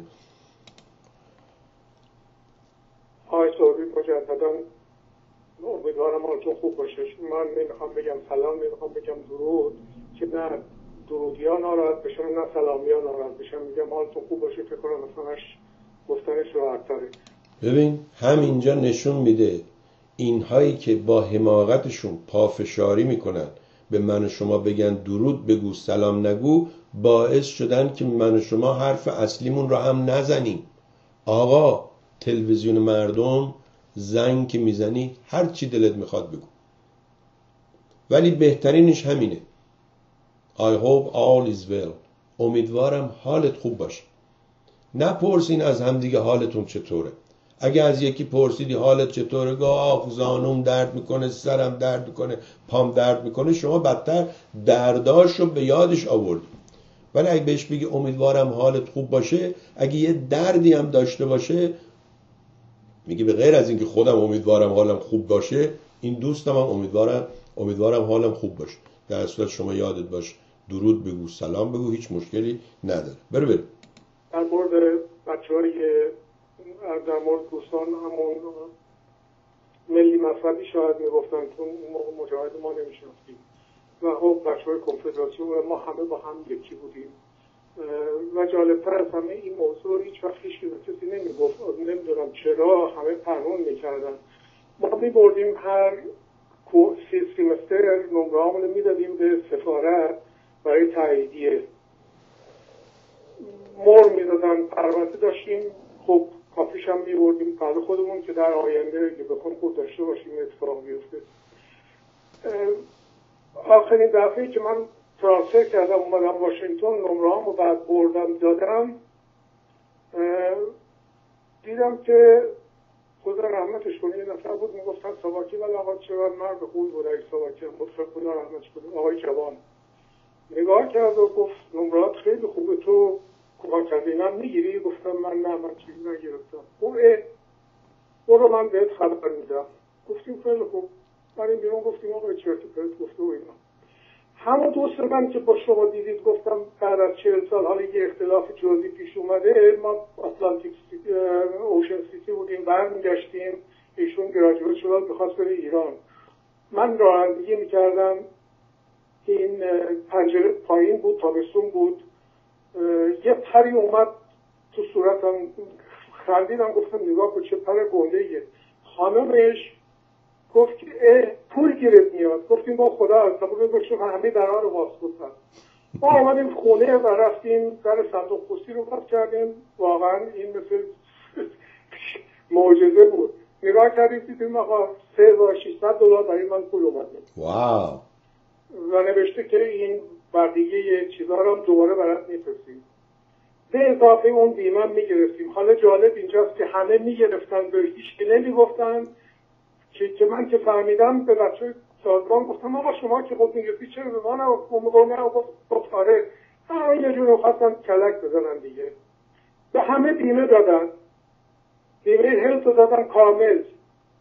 به همه این پوله رو می‌دادن. انلس که شما معدل سیر سه بود به نمی‌دادن پس ربطی به شاب و نمی‌دونم فلان اینا نداره. من می‌خوام این موضوع رو با شما صحبت کنم که ببینم واقعا گرفتاری شما با رضا پهلوی چیه. من الان داشتم سخنان آقای مایک پنس رو نگاه می‌کردم. خیلی خوب صحبت می‌کرد. من خب. همونجوری که گفتم من گرفتاری با ایشون ندارم. شاید دلیلی هم که شما نرفتی نیویورک تظاهرات یادت افتاده به همون 3600 دلار و پولایی که بعدا دادن که بالاخره خب بد نبوده. شاید ما هم اگر یه جایی پول برسه بهمون صدامون دیگه در نیاد. شوخی بود. میگه که این نوه های سه چهار ساله ده تا مثل ما رو درس میدن. آفرین. چند تا داری اکبری؟ آقای مانی خورسندی هم میگه بابا این سلام مثل مرسی فرانسوی ژنتیکی شده. عیبی نداره. ما این جابجا شدن اسباب کشی باعث شد یه مشتی از این پنا داشتیم پیدا کردیم. یعنی یه دونه حالا از این. اون وقتا چند تاشو آقای گودرزی برای من فرستاده بود. من به هر کی می‌رسیدم یکیشو می‌دادم. به آقای جلیل بهار این اون. و یه روز دیدم این رضا پهلوی عقب افتاده آمده یکیشو اینجوری بالا پایین زده. قرمز بالا سبز پایین اینا. گفتم این تو آینه هم نگاه نکرده. با عجله زده اومده. این پین نمی‌دونم چی بهش میگیم توی ایرانی. گل بریقه. اینجوری یه چیزی از پشتش میبندی اینجوری می‌زنی اینو فشار میدی و اگه خواستید حالا بعد از صحبتون با آقای لادن من چند تا پن مختلف دارم. یکیش که اصلا مال یه برنامه که رفته بودیم سان فرانسیسکو. یکیش مال دیابتیک مال اینایی که مرض قند دارن. یکیش پرچم آمریکا که خیلی ظریف و خوبه و این یکی هم علامت هواپیما و نشون میده روشم اینجوریه که از این هواپیمای AWACS بود. ببینم نزدیکتر می‌تونم بیارم تا شما ببینیش. هواپیما. البته این پشتشو باید وردارم که شما اینجوری ببینیش. هواپیمای AWACS. اینو یه خلبانی به من داد توی یکی از برنامه ها چون من به اون یه pin دادم. اونم این pin رو در آورد داد و اگر کسی کمک کنه حمایت کنه شاید ما هم این چیزها رو برایش پست کنیم و بفرستیم. یادم افتاد به شهرام همایون که می‌گفت من یک ورق کاغذ سفید رو می‌تونم بفروشم به بیننده ها ده هزار دلار. و هیچ وقت نتونستیم سیلزمن خوبی باشیم و پولی از به اصطلاح بیننده ها دریافت کنیم حتی برای تلویزیونمون. اجازه بدید بریم سراغ آقای امیر حسین لادن محقق پژوهشگر نویسنده و تلاشگر سیاسی. ایشون یک سفری رفته بودن سفر سیاسی. اتفاقا من پیش خودم گفتم نکنه ایشونم رفته باشه ورشو. چون بعض وقتا یه کسایی میان یه چیزی به آدم میگن. آدم میگه خب من برم ببینم شاید اینا عوض شده باشن. ساعت سه بعد از ظهر بریم سراغ ایشون و ببینیم که به اصطلاح نظرشون درباره نشست ورشو چی هست و ایشون چه نگاهی دارن. و این هم تصویرشون اجازه بدین تصویر ایشون رو بدم به سیستم و چند هفته ایشون قائب بوده. قائبیشون رو گزارش کنیم به دفتر. اینم چهار به سه. بله بسیار زیبا و متین. یا برای آقایون میگن هنسا آقای نادن سلام می‌کنم خدمت شما. خیلی خوشحالم بعد از چند مدت باز هم با شما هستیم. من ساکت میشم میکروفون در اختیار شما می‌ذارم. تا در هر موردی که دوست داشتید صحبت کنید مخصوصا اگر لطف کنید و درباره این نشست ورشو لهستان صحبت کنید تا ما آگاه بشیم من ممنون و متشکرم. چون در یکی دو روز گذشته فیلم هایی که دیدیم واقعا خجالت آور بوده برای کمپوزیسیون یا اپوزیسیون ایران و خجالت آور برای آمریکا که درس نمی‌گیره و هنوز دنبال این هست که با حمله به اصطلاح دموکراسی وارد کنه به کشورهای دیگه. این شما و این هم شنوندگان و بینندگان تلویزیون مردم بفرمایید با شما هست سپاسگزارم. درود به شما جناب سربی گرامی و به بینندگانتون. منم فکر می‌کنم که یه گفتگو در مورد کنفرانس ورشو می‌تونه روشنگر باشه از زاویه های متفاوت. این برنامه دولت ترامپ و تندروها و جنگ طلبای آمریکا از برپایی کنفرانس ورشو تشکیل یک جبهه مشترکی بود برای مقابله با جمهوری اسلامی. بازیگران اصلی پشت پرده این کنفرانس به غیر از صنایع نظامی آمریکا نتانیاهوی اسرائیل و شیخ محمد عربستان و چند تن از شرکاشون بود. اعلام برپایی این کنفرانس از طرف دولت بوش و دعوت از کشورها در حدی با سردی و بیعلاقگی روبرو شد که آمریکا مجبور شد عنوان کنفرانس که بود مقابله با ایران تغییر بده. ببخشید شما گفتید بوش نه ترامپ. بله. نه فکر کردم شاید از اون موقع در پی همچین چیزی بودم. بفرما. بله اشتباه کردم. منظورم ترامپه به جای آقای بوش ترامپ رو بذاریم. من که واقعا جفتشون از نادانترین ریاست جمهوری های آمریکا بودن. دقیقا. با عضو پوزش آمریکا مجبور شد که عنوان این کنفرانس رو که بود مقابله با ایران عوض کنه و بذاره مقابله با تروریست و برقراری صلح و امنیت در خاورمیانه با این حال نه تنها نیمی از کشورهای جهان شرکت نکردند و حاضر به شرکت نبودند بلکه اون کشورهایی که شرکت کردند برای کم ارزش نشون دادن این جلسه از فرستادن مقامات عالی رتبه خودداری کرد. سردی و بیعلاقگی برای شرکت در این کنفرانس به خاطر جمهوری اسلامی یا به خاطر مقابله با ایران نبود.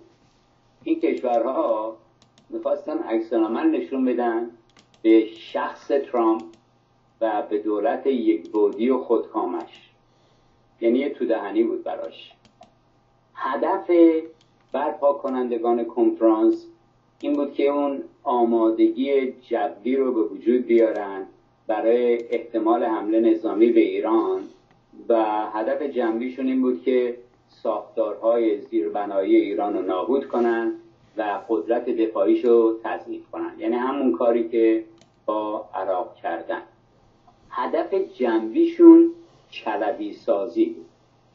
برای آگاهی بینندگانی که با این واژه آشنایی ندارن احمد چلبی یه عراقی جاه طلب بود که با کمک موساد اطلاعات ساختگی با همکاری لابی اسرائیل در آمریکا با راهنمایی ویژه و همراهی ریچارد پرل که رهبر محافظه کاران آمریکا بود برای نابودی عراق به عنوان رهبر اپوزیسیون علم شد. یعنی آقای چلبی رو کردنش رهبر اپوزیسیون عراق و اسم گروهش هم گذاشتن کنگره ملی عراق. و انقدر با بوق و کرنا برای این تبلیغ کردن تا آروم آروم مطرح شد و نه تنها اونو به خورد ملت آمریکا دادن که این یک رهبر اپوزیسیونه بلکه عراقیان باورشون شد. احمد چلبی در مقابل به موساد تعهد کرد که پس از رسیدن به قدرت یه لوله نفت از عراق می‌کشه به اسرائیل. موساد یه چیزی هم می‌خواست و اون که می‌گفتن یک زمانی یک لوله نفت بوده از موسل به هایفا این قول میده که اونم دوباره سازی کنه. خب و اما این دست راستی های قرن جدید آمریکا و یارانشون مانند دیک چینی معاون رئیس جمهور پال ووپویتس معاون وزیر دانالد رامسفیلد وزیر دفاع الیت آبرامز که اون موقع متصدی شورای امنیت بود. و این الیت آبرامز همونی که امروز ترامپ داره اینو معمول کرده که در ونزوئلا کودتا برپا کنه. یکی دیگه از اشخاصی که در اون گروه شرکت داشت ببینم اسمشو دارم اینجا داگلاس فایت اینها همشون عضو اون سازمان جدید قرن, قرن جدید آمریکا بودن از اون تندروها و جنگ طلبا. و اینا با همین برنامه رو پیاده کردن که چجوری عراق رو نابود کنن. دارم به این دوتر بندی رفت میدم.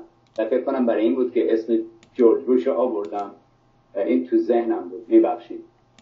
و اما اینا این اشخاص مسئولان اصلی و مأموران نابودی ساخته های عراق بودن. یه شخص دیگه هم بود به نام پال برمر که اون مأمور نابودی ارتش عراق شد. پال برمر از طرف جورج بوش مسئول بود که بشه رهبر غیر نظامی عراق تا اینکه دولت موقت عراق به وجود بیاد. پال برمر از طرف اسرائیل مأمور نابودی ارتش عراق بود. بدون اطلاع سیایه بدون مشورت با فرمانده های نظامی آمریکا دستور میده که ارتش عراق متلاشی بشه. و اونا رو در مقابل یه کار انجام شده می‌ذاره و دست آمریکا رو می‌ذاره تو حنا. و اسرائیل موفق میشه می‌تونه که بدون ریختن یه قطره خون اسرائیل اسرائیلی بدون هزینه یک دلار هم عراق نابود کنه ارتشش رو و هم صدام رو برکنار کنه. اما برگردیم به کنفرانس ورشو من داشتم داستان شلبی سازی رو برای بینندگانتون می‌گفتم. هدف اپوزیسیونی که در کنار این کنفرانس جمع شده پشت آمریکا و اسرائیل و شرکاش سینه می‌زنه. ربطی به گرفتاری های همیهنانمون در ایران و مشکلات کشورمون نداره.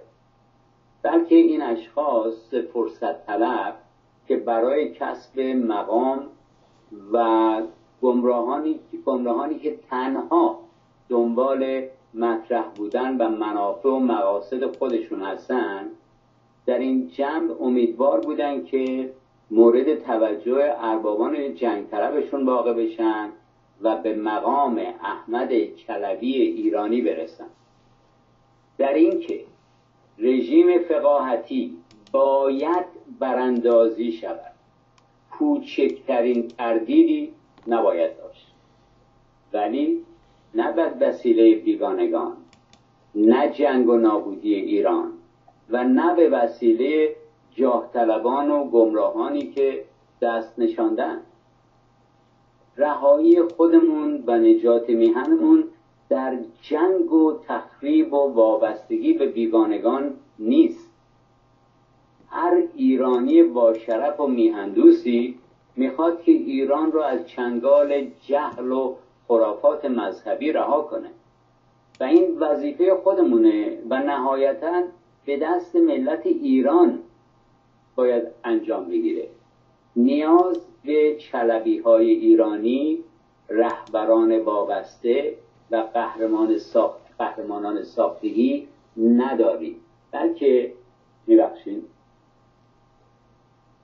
رهایی و نجات همونطور که ماه پیش در گفتگو به اون اشاره کردم در برپایی یه حکومت مردم سالار یعنی یه جمهوری دموکراتیک ایرانی.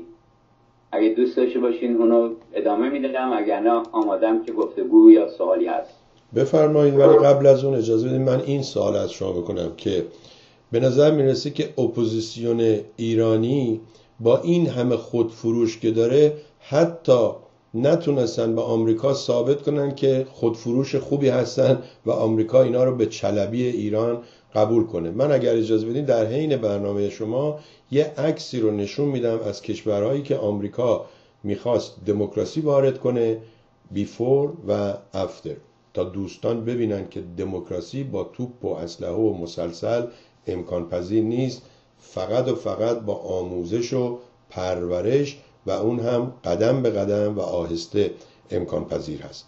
در ممنونم. بفرمایید. وسط هدف به قول خودمون زدیم تو گل و این بی چون و چرا تنها راهه. و ما پیشنهادمون اینه که یک ما دنبال مردم سالاری هست و منظور من از این مردم سالاری مشخصا اینه که می‌خوایم یک جمهوری دموکراتیک ایرانی به وجود بیاریم. و این جمهوری معنیش خیلی خیلی مشخص واضحه. یعنی تنها خواست مردم پایه و اساس قانونمندی دولت. و نه از سوی خدا و نه از طرف بیگانگان نه وارداتی و به زور.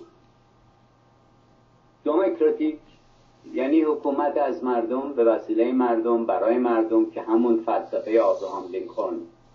منظورمون از این واژه ایرانی هم دو تا دلیل مشخص داره.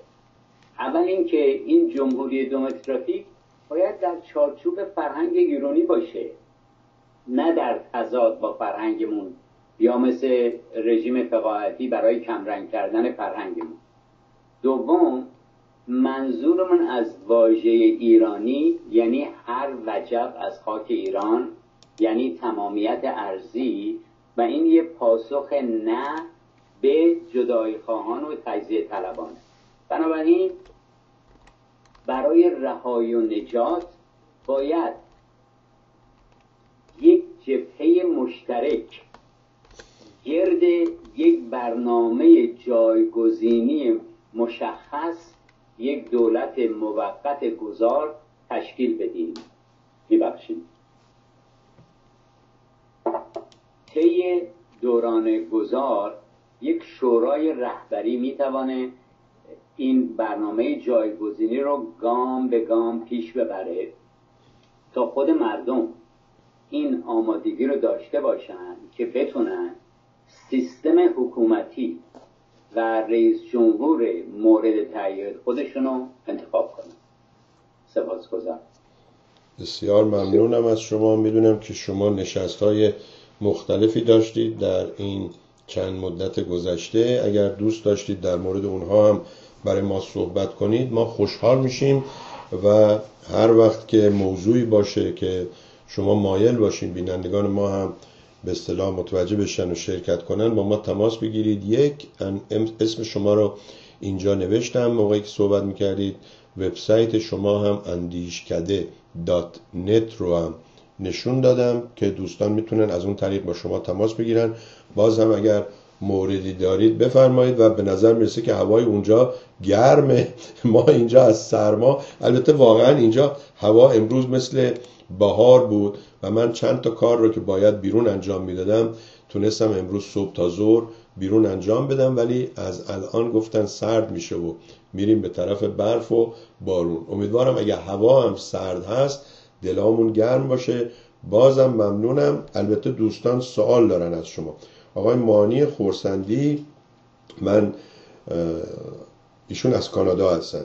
میگن به نظر شما این چلبی های ایرانی می‌تونه مثلا مریم باشه یا رضا؟ آقای اکبری از آلمان نوشتن چون شما گفتید کشورهایی که چیز بوده شرکت نکردن اونایی هم که شرکت کردن افراد رده بالا رو نفرستادن ایشون نوشته آلمان معاون پنجم وزیر امور خارجه خودش را فرستاد. یعنی میشه بگیم تقریبا آبدارچی. آقای اکبری همچنین میگه که آقای لادن احمد چلبی ایران چه کسی می‌تواند باشد؟ بعد همون مر... مانی مریم جواب مانی جواب داده مریم یارزا. ضمن آقای خوشنودی هم از کالیفرنیا نوشتن تمام آمال و آرزوی شاه ها و مجاهدین به این اجلاس ورشو گره خورده. جالب اینه که مجاهدین یک میتینگی هم خودشون داشتن. گویا بسیار ناموفق بوده. تا اندازه که مهدی ابریشمچی می‌گفته خدایا منو مرگ بده. بعد اینا قرار بود دیگه 19 هم کار جمهوری اسلامی تموم بشه و به چهل سال نرسه. این شما آقای لادن و این هم سوالات دوستان و نظراتشون. نظر شما چی؟ حتما. من عمدن مقایسه نکردم برای اینکه همواره نه اینکه مسئله ترس و واهم است اینکه همواره من مورد حمله این اشخاص هستم که شما نام بردید. ولی خیلی از متخصصین کاملا در همین چارچوب گفتگو می‌کنن و اشخاصی که شما نام بردین نام می‌برن که دنبال این هستن به شدت. و اگر خاطرتون باشه برای اینکه بتونین اینو به همدیگه ربط بدین که چقدر شبیه هست این موضوع به این اشخاصی که شما گفتین احمد چلبی چند سال سینه زد برای اینکه آمریکا و اسرائیل رو تشویق کنه به حمله به عراق. و چند سال رول لابی رو بازی کرد کسی که دنبال اعمال نفوذ دیگران هست. و خیلی هم جالبه که این آقا بالاخره تونست با کمک جنگ طلبای آمریکا و موساد یک اطلاعات ساختگی رو به خورد دولت بده و موفق بشه. حالا اینی که می‌بینیم ما مرتب من شما حداقل ده بار در این مورد گفتگو داشتیم که راه نجات در حمله نظامی به ایران نیست همینی که الان شما اشاره کردیم که دومکراسی رو نمیشه به زور وارد کرد نیاز به آموزش داره نیاز به زبان داره. این دوستانی که دنبال حمله نظامی به ایران هستن و می‌خوان از طریق آمریکا و اسرائیل و به خرج عربستان ایران رو نابود کنن اینا دارن همون راه شلبی رو میرن. ولی متاسفانه نیاموختن که این راه نیست. نجات ایران و رهایی ما در حمله نظامی نیست. مگه اینا کورن؟ نمی‌بینن که لیبی و عراق و بقیه چی شدن. ایران باید به دست مردم ایران و با برنامه درست شفاف مشخص نجات پیدا کنه. و ممکنه شبانه نباشه ممکنه که خود بیشتر زمان ببره. بسیار ممنونم از شما. آخر هفته خوبی براتون آرزو می‌کنم. باز هم اگر صحبتی هست بفرمایید. اگر نه امیدوارم که شما رو داشته باشیم در برنامه های آینده. باز یه چیزی که از شما امروز یاد گرفتم و خیلی جالبه دوستان دقت کنید. آقای لادن حتی حاضر نیستن اسامی اینها رو بگن. یعنی اینها انقدر low life و به اصطلاح حتی اسمشون رو ایشون نمی‌خوان. دیدم یه چند تا از این چیزای تلویزیون اسم ترامپ رو نمیارن. میگن که ما حاضر نیستیم اسم ترامپ رو بگیم. من از شما ممنون و متشکرم و همونجوری که گفتم امیدوارم باز هم شما رو داشته باشیم در برنامه های آینده. خیلی ممنون که با ما بودید آقای لاده. سپاس از شما و درود. خیلی ممنون. خب دوستان عزیز شما هم می‌تونید با وبسایت اندیشکده و فیسبوک ایشون که دو بار نشون دادم اینجا بله. امیر اچ همون اول حسین امیر اچ لادن. خیلی ساده تماس بگیرید. اگرم باز مشکلی بود و نتونستید تماس بگیرید با من تماس بگیرید. ارتباط شما رو بر قرار می‌کنم. ممنونم از ایشون که با ما بودن با همه به اصطلاح مشکلاتی که از لحاظ وقت و کمبود وقت دارن. بعضی از دوستان میگن ما باید در شبان روز 48 ساعت داشته باشیم تا بتونیم به کارهای معمولیمون برسیم. خیلی ممنون. خب دوستان عزیز برگردیم به آمریکا برگردیم به این واشنگتن دیزی که واقعا همه معجونی داخلش هست همه نخود داخلش هست و یه مصاحبه ای رو جدیدن آقای ظریف انجام داده که گفته اگر آمریکا حالا نمی‌دونم جدیدنه چون من فکر کنم قبلا هم اینو دیده بودم ولی امروز برای من فرستادن دوباره. گفته اگر آمریکا به ایران حمله کنه آمریکا مثل این میمونه که دست به یک عمل انتحاری خودکشی زده باشه. و وقتی با چند تا از دوستان صحبت کردم اونها هم گفتن که این حرف درسته؟ اجازه بدید من این یکی رو خاموش کنم. بعد این حرف ظریف درسته و حمله احتمالی آمریکا به ایران باعث میشه که آخوندها سو استفاده کنن و باز مردم رو گرد خودشون جمع کنن چون همه باور دارن. اگر اون جنگ احمقانه صدام حسین و خمینی نبود آخوندها همون سالهای اول از بین رفته بودن. ولی به دلیل اون جنگ که بر اساس سیاست های آمریکا و اسرائیل و کمک هاشون فوری فوش ندید شاه الله برید بخونید ایران گیت و ایران کانترا و اینا ببینید کیا بودن چیا بودن.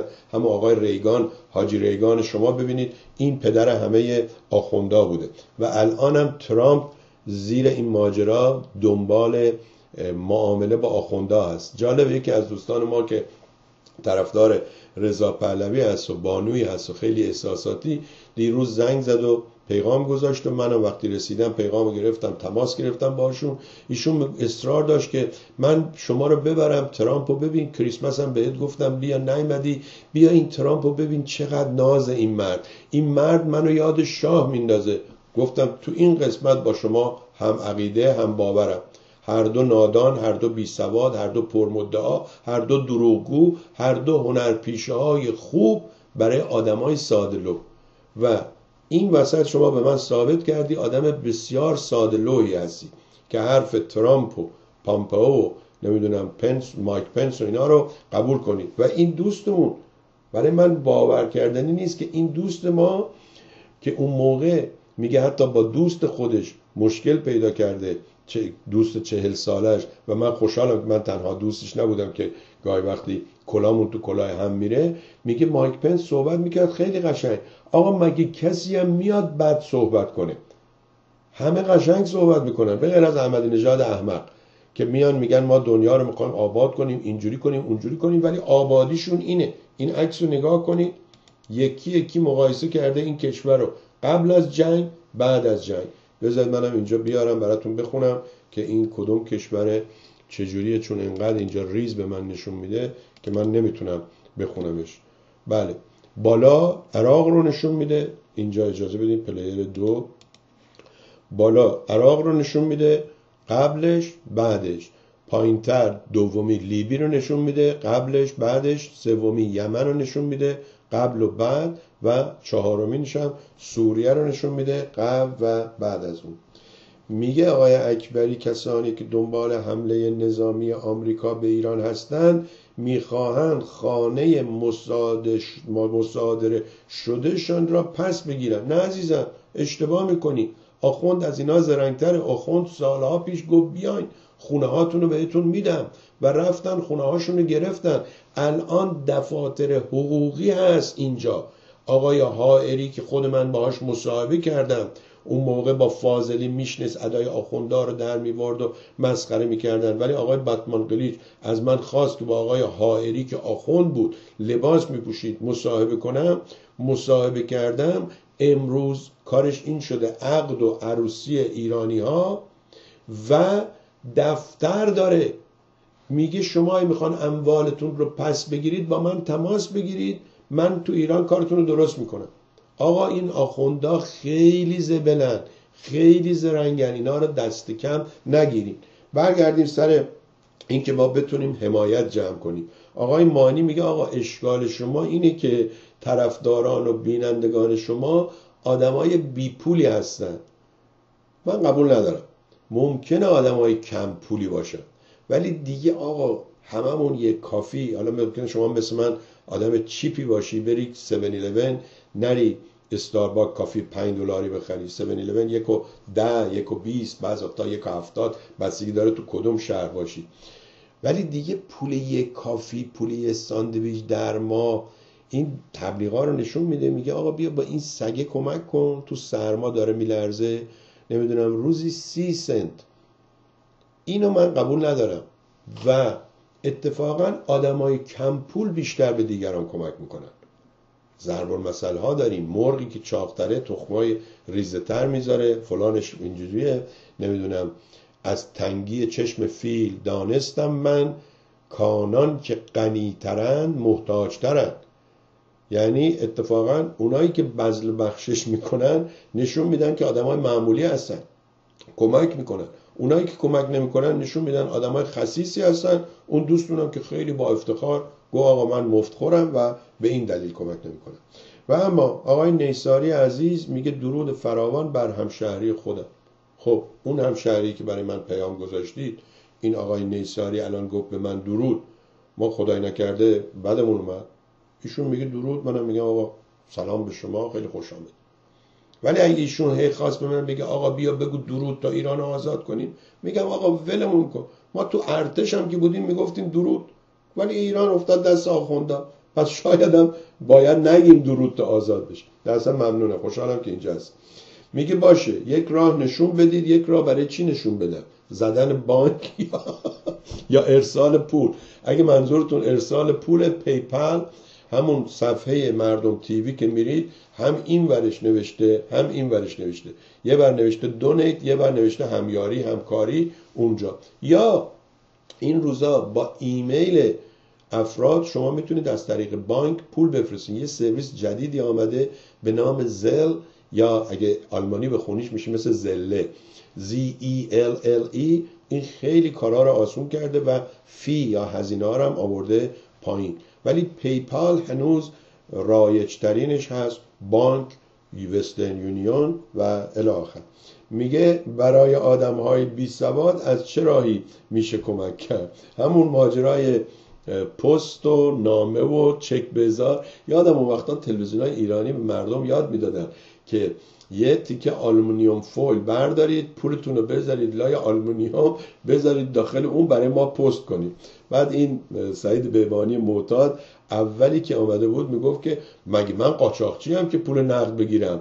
بعد می‌گفت حالا پول نقدم بفرستید عیب نداره i-transfer یا e-transfer e-transfer یعنی electronically.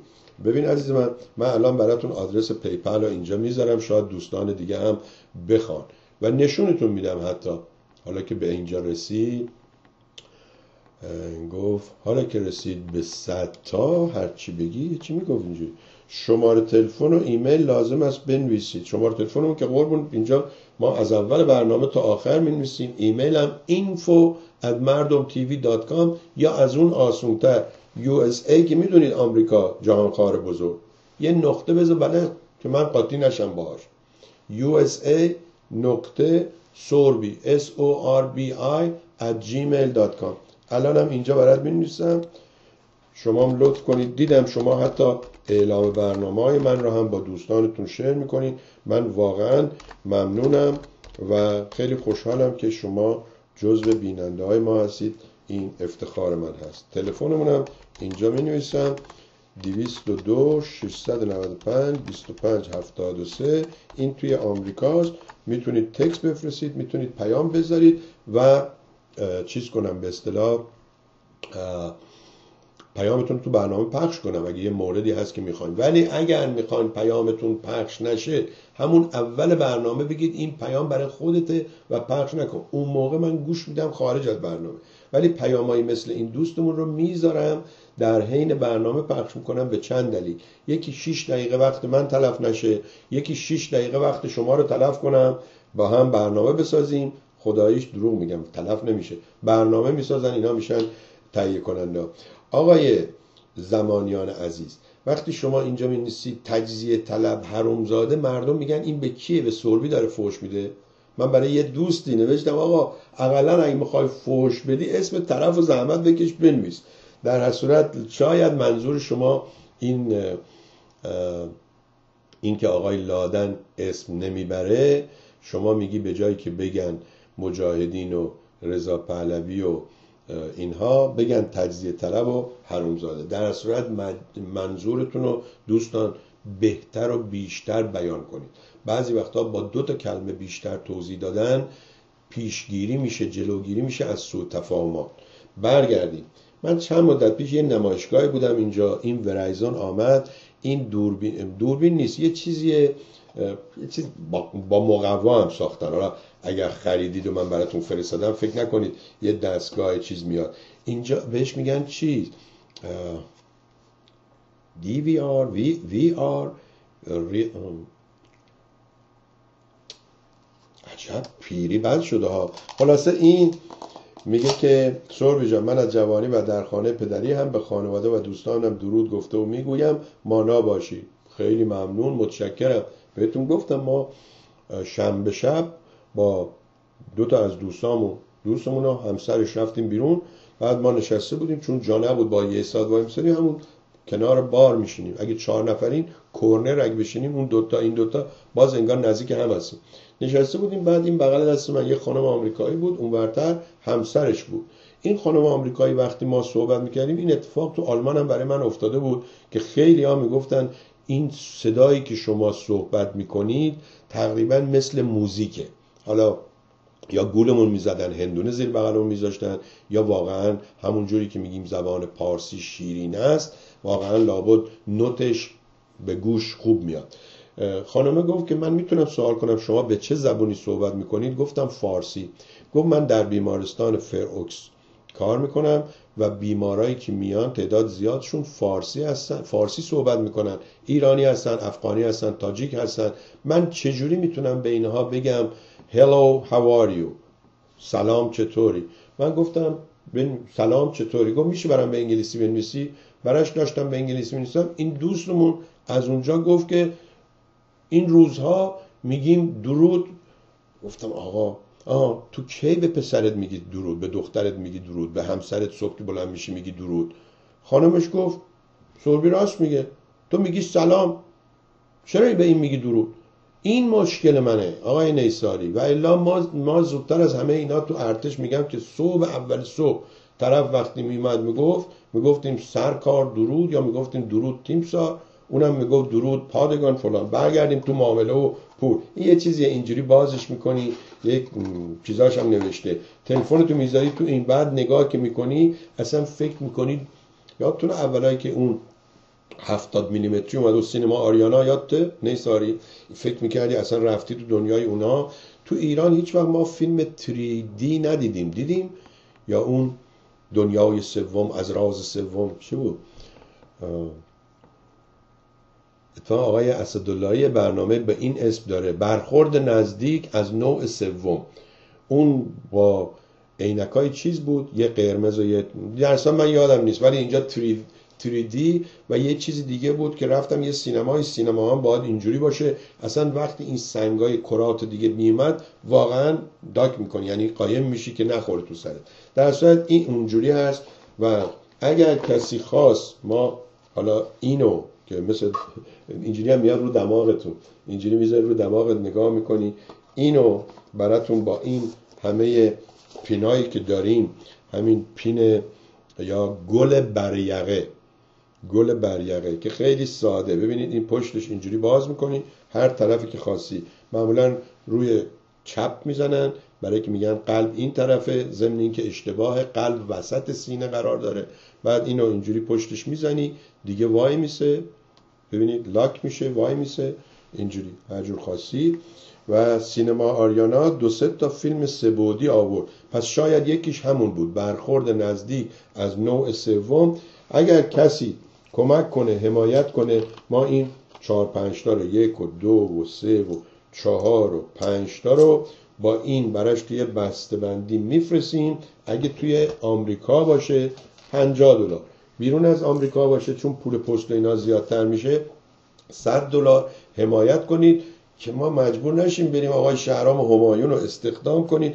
واقعا میگم ما یادمه یه روز عصبانی شده بود یه برگ کاغذ رو برداشت و گفت که می‌بینی این, این برگ کاغذ می‌بینی چی روش نوشته؟ هیچی سفیده. من این قدرت رو دارم اینو به مردم بفروشم ده هزار دلار. البته چند ماه بعدش گفت ما تلویزیون رو میبندیم چون پول نداریم. چند ماه بعدش دوباره باز کرد چند ماه بعدش دوباره گفت تلویزیون میبندیم. چون یکی فوش به پدرم داده دوباره باز کرد. چند ماه بعدش گفت یک تلویزیون میبندیم چون یکی فوش به مادرم داده. خلاصه وقتی میای تو این business فوش به پدر و مادرتم دیگه هیچ میشه. بیخیال میشی و میشی مثل چغندر بی رگ چرا میگن چغندر بی رگه خب بریم سراغ نوشته ها بله سینما آریانا اون بغلش pizza shop بود. چی بود؟ عجب آبجو french fries.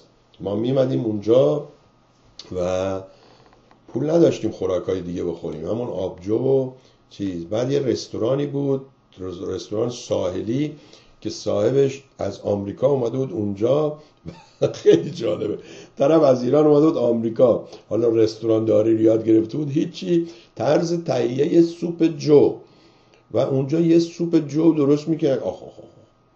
البته ایران بهتون بارها گفتم چون چیزی نبود شما مثلا این لوبیا گرم رو ببین طرف میگه آقا یادته لوبیا گرم خسرو پشت سینما سعدی این دوست کلیمی ما یا هوشنگ یسمه. آقا چیز دیگه ای نبود. یه لوبیا گرم بود یه تومن اگه می‌خواستی ساندویچ بخری دو تومن همه, همه نداشتن. نمی‌تونستن افورد کنن. براشون به اصطلاح قابل پرداخت نبود. میگه آقا فعلا لوبیا می‌خورم که هم برای امروز خوبه هم فردا باز یادش میفتم بگذریم. خب هی I just signed the petition. Free محمد علی تاهری این دکتر محمد علی تاهری هم داستان عجیبیه. یه روز خود طرفدارا میگن آقا کشتش جمهوری اسلامی. یه روز میگن نه آقا نکشتنش. ازش تعهد گرفتن. بین خودشون اختلافه. ما بارها اینجا برنامه ایشون رو پخش کردیم طرفداران ایشون برنامهش پخش کردیم. یه خانمی بود یادمه به, به نام خانم نیرومنش که من اولین بار به ایشون برنامه دادم همه اعتراض کردن بعد دیدم تلویزیون های دیگه بهش برنامه دادن. آخر کارم پسرش براش یه تلویزیون درست کرد و بعدم به من تماس گرفتن گفتن آقا اینجا دکون باز کرده و فلان. گفتم چه اشکالی داره؟ آقا یه دکون اینجا بازه قلیون میفروشه. شما نمی‌خوای؟ خب نرو توتون نخه قلیون نکش سیگار نکش. چرا زور میگی؟ چرا تو هم شدی جمهوری اسلامی؟ شما این هفتاد تا عقب افتاده ای که رفتن ورشو نگاه کنید فیلماشونو. امید دانا اومده اینا رو مسخره می‌کنه. اون آقای زرابی اومده میگه آخه این چه وضعیه؟ اون خانم خانم رئیس بیدخت بهدخت چیه؟ بله. گل بریقه چه آرمی روش داره؟ آها شما دیر اومدی. ببین این بیارمش نزدیک نزدیک. پرچ یعنی سبز و سفید و قرمز شیر و خورشید تاج نداره. شیر و خورشید و شمشیره. اینه. اگه آبی می‌بینید اگه این بالا آبی می‌بینید به خاطر این پرده سبزه. این بالا سبز سفید قرمز. بعد این یکی خیلی جالبه. من خودم هم نمی‌دونستم. فکر کردم این مال سناتور... سناتوریال دینر هست. یعنی شامی که سناتورها اینجا می‌خورن. ولی نه. این یک برنامه بود چند هزار تا نجار کارپنتر معمار در سان فرانسیسکو جمع بودن و این آقای عباس شیر محمدی کار عکاسی و فیلم برداریش اینا رو انجام می‌داد. یادمه درست زمانی که خانم گوگوش اولین بار آمده بود و به اونای دیگه هم فخر میفروخت. من که مثل شما نیستم که برم تو پوست بره و گاو. من خودم اومدم وقتی می‌خواستم فوری هم با اولین برنامهش یه خونه خرید گویا برای پسرش کامبیز و اینها بماند. در این نوشته نوشته Sacramento Area District Council بعد Carpenters and joiners یا joiners نمی‌دونم. ساکرامنتو پایتخت کالیفرنیا می‌دونید که اینا هر کدومشون مثل یک کشورن و واقعا هر کدوم از اینا شاهن. این آقای چیز نکبت الان شاهنشاهه که من یکی از ایرادایی که به شاه میشه بگیری آقا شما و بابات نمی‌تونید به خودتون بگین شاهنشاه وقتی همه شاه ها رو کشتی. شما شاه هستی شاه ایران هستی. ولی اگه میذاشتی شیراز شاه خودش داشته باشه تهرون شاه خودش داشته باشه تو می‌شدی شاه شاهان. بگذاریم این مال ساک... ساکرومنت نمی‌دونم مال نجارا فلان اینا این یکی مال دیابتیک. اینایی که مرض قند دارن نوشته no more about diabetes. بیشتر بدونیم در رابطه دیابت و اینو مثل یه تمر پستی درست کردن. کنارش هم اینجوری داره. این یکی پرچم آمریکاست. خیلی ظریف و نقلیه. من این خوشم میاد. خیلی شیکه. این یکی هم یه هواپیمای دیدید هواپیمای AWACS پشتش بالاش یه چیزی داره مثل مثل ماهواره مثل satellite اینه. این هم خیلی قشنگه. و اون کسی که اینو به من داد گفت این collectible item هست. collectible item که می‌دونید. اینایی که دوست دارن مثلا اینجا یه دفعه می‌بینی یک 25 سنتی رو میگن این 20 هزار دلار قیمتشه میگیم چرا؟ میگه این برای که اشتباه نوشتن. تاریخشو اشتباه نوشتن یا اسم فلان پرزیدنت رو یه اشتباه نوشته. اشتباه. میگه که عکس ترامپ رو ندارید بزنیم توی توالت. آقا از اون بهترش رو درست کردن. عکس ترامپ رو زدن روی کاغذ توالت که هر وقت میری اونجا ترامپ برد لیست بزن. ولی آدم چندشش میشه نه؟ یعنی ترامپ برای اونجا هم خوب نیست. در هر صورت خدا بگم تو رو چه کار کنه. این این جمع دیوان خانه ما فقط این مانی خورسندی رو کم داشت. میگه آقای سوربی کافه عرق فروشی لوور یا لور سر چهارراه زن نرسیده به خیابان داروش به مدیریت معینزاده کلیمی رو یادتونه عجب لوبیاگر میدار کاکو ما او دوربرا میترسیدیم.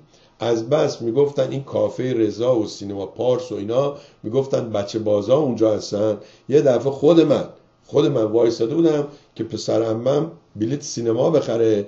بعد یه نفر اومد پشت سر من وایستاد گفت که این فیلم خوبه. گفتم نمی‌دونم ما می‌خوایم بریم. گفت می‌خوای برات بلیت بخرم؟ پسر همم اومد گفت که ما بلیت خریدیم احتیاج به شما نیست. برو تو به پاس. برو برو گورتو گم کن تو به پاسمان زنگ نزدم. در اصل ما او دوربرا نمی‌رفتیم. بعدا که یکم بزرگتر شده بودیم طرف سینما سعدی. دلیلش هم اینه که این دوست ما آقای بیروز قاسم زاده خونش توی بنبست صدرنیا بود نزدیک چهارراه موشید همون جایی که اون دفعه گفتی آقای افشار می‌شناسی و اون خیاط اونوری چی؟ خیاط که از آمریکا آمده بود. و ما بیشتر اونجا میپلکیدیم. پلکیدن هم یعنی چرخ خوردن و اینها. و یادش به خیر دایی آقای عباس دوران که از بس عباس خوش اخلاق بود بهش گفتن عباس عمر. داییش آقای ماشالله افراسیابی اونجا یه مغازه داشت و این آقای افراسیابی به من می‌گفت که نگاه کنین آدمایی که اینجا وایسادن. همشون یکی یکی خانوما رو سوار می‌کنن مجانی میرسونن خونهشون. من یه در گفتم من نمی‌فهمم. کی سوار می‌کنه؟ گو آقا با چشمشون خانوما رو سوار می‌کنن همینجوری میرن تا این بر خونه. دوباره برمیگردن یکی دیگه. چند نفر بودیم اونجا جمع می‌شدیم و بعدم میگه این ترامپ قابل لیسیدن فلان هم نیست. بله ما بیشتر اون چهارراه سینما سعدی درست پشت سینما سعدی جمال شاگرد هوشنگ یسمه بود. این ورترش که اصلا اون در مال سینما سعدی بود. خسرو و داداشش گویا چیز داشتن که خسرو یه دفعه به ما نصیحت کرد گفت به این پسرموتون بگوید اینقدر صبح اینقدر زود نیاد اینجا برای آبجو خوردن. ما هنوز باز نکردیم این پشت در وایساده. بله میگه منم منم کاکام مواظبم بود. خب این دوره شاهه. به اینایی که الان میان عکس چاپ می‌کنن آقای سعیدی رفته بچه بازی بهشون بگید. که اقلا اینا رفتن تو مسجد شما می‌دونی نری مسجد بچه تو نبری مسجد. ولی اون موقع همه جا بودن. این بچه بازا در زمان شاه همه جا بودن. باید مواظب بودی. معلم بود بچه باز بود. نمی‌دونم مربی بود بچه باز بود. حالا اینجا اعلام می‌کنی که فلان مربی مثلا فوتبال مدرسه همین دیروز یه نفر رو دوباره کردن بیرون. این دست زده به دخترها یا دست زده به پسرها. درود آقای سولبی آیا اپوزیسیون می‌تونه به وحدت در مقابل سپاه سپاه اندیشان برسه؟ ببینید آمریکا میگه هیچ وقت نگید هیچ وقت. من نمی‌تونم به شما بگم صد درصد نه. چون اگر یه آدم با فکری بیاد بگه سپاه بسیج جهاد هر حقوقی که اینا به شما میدن ما به مجردی که بیایم یک و نیم برابر اینا رو به شما میدیم.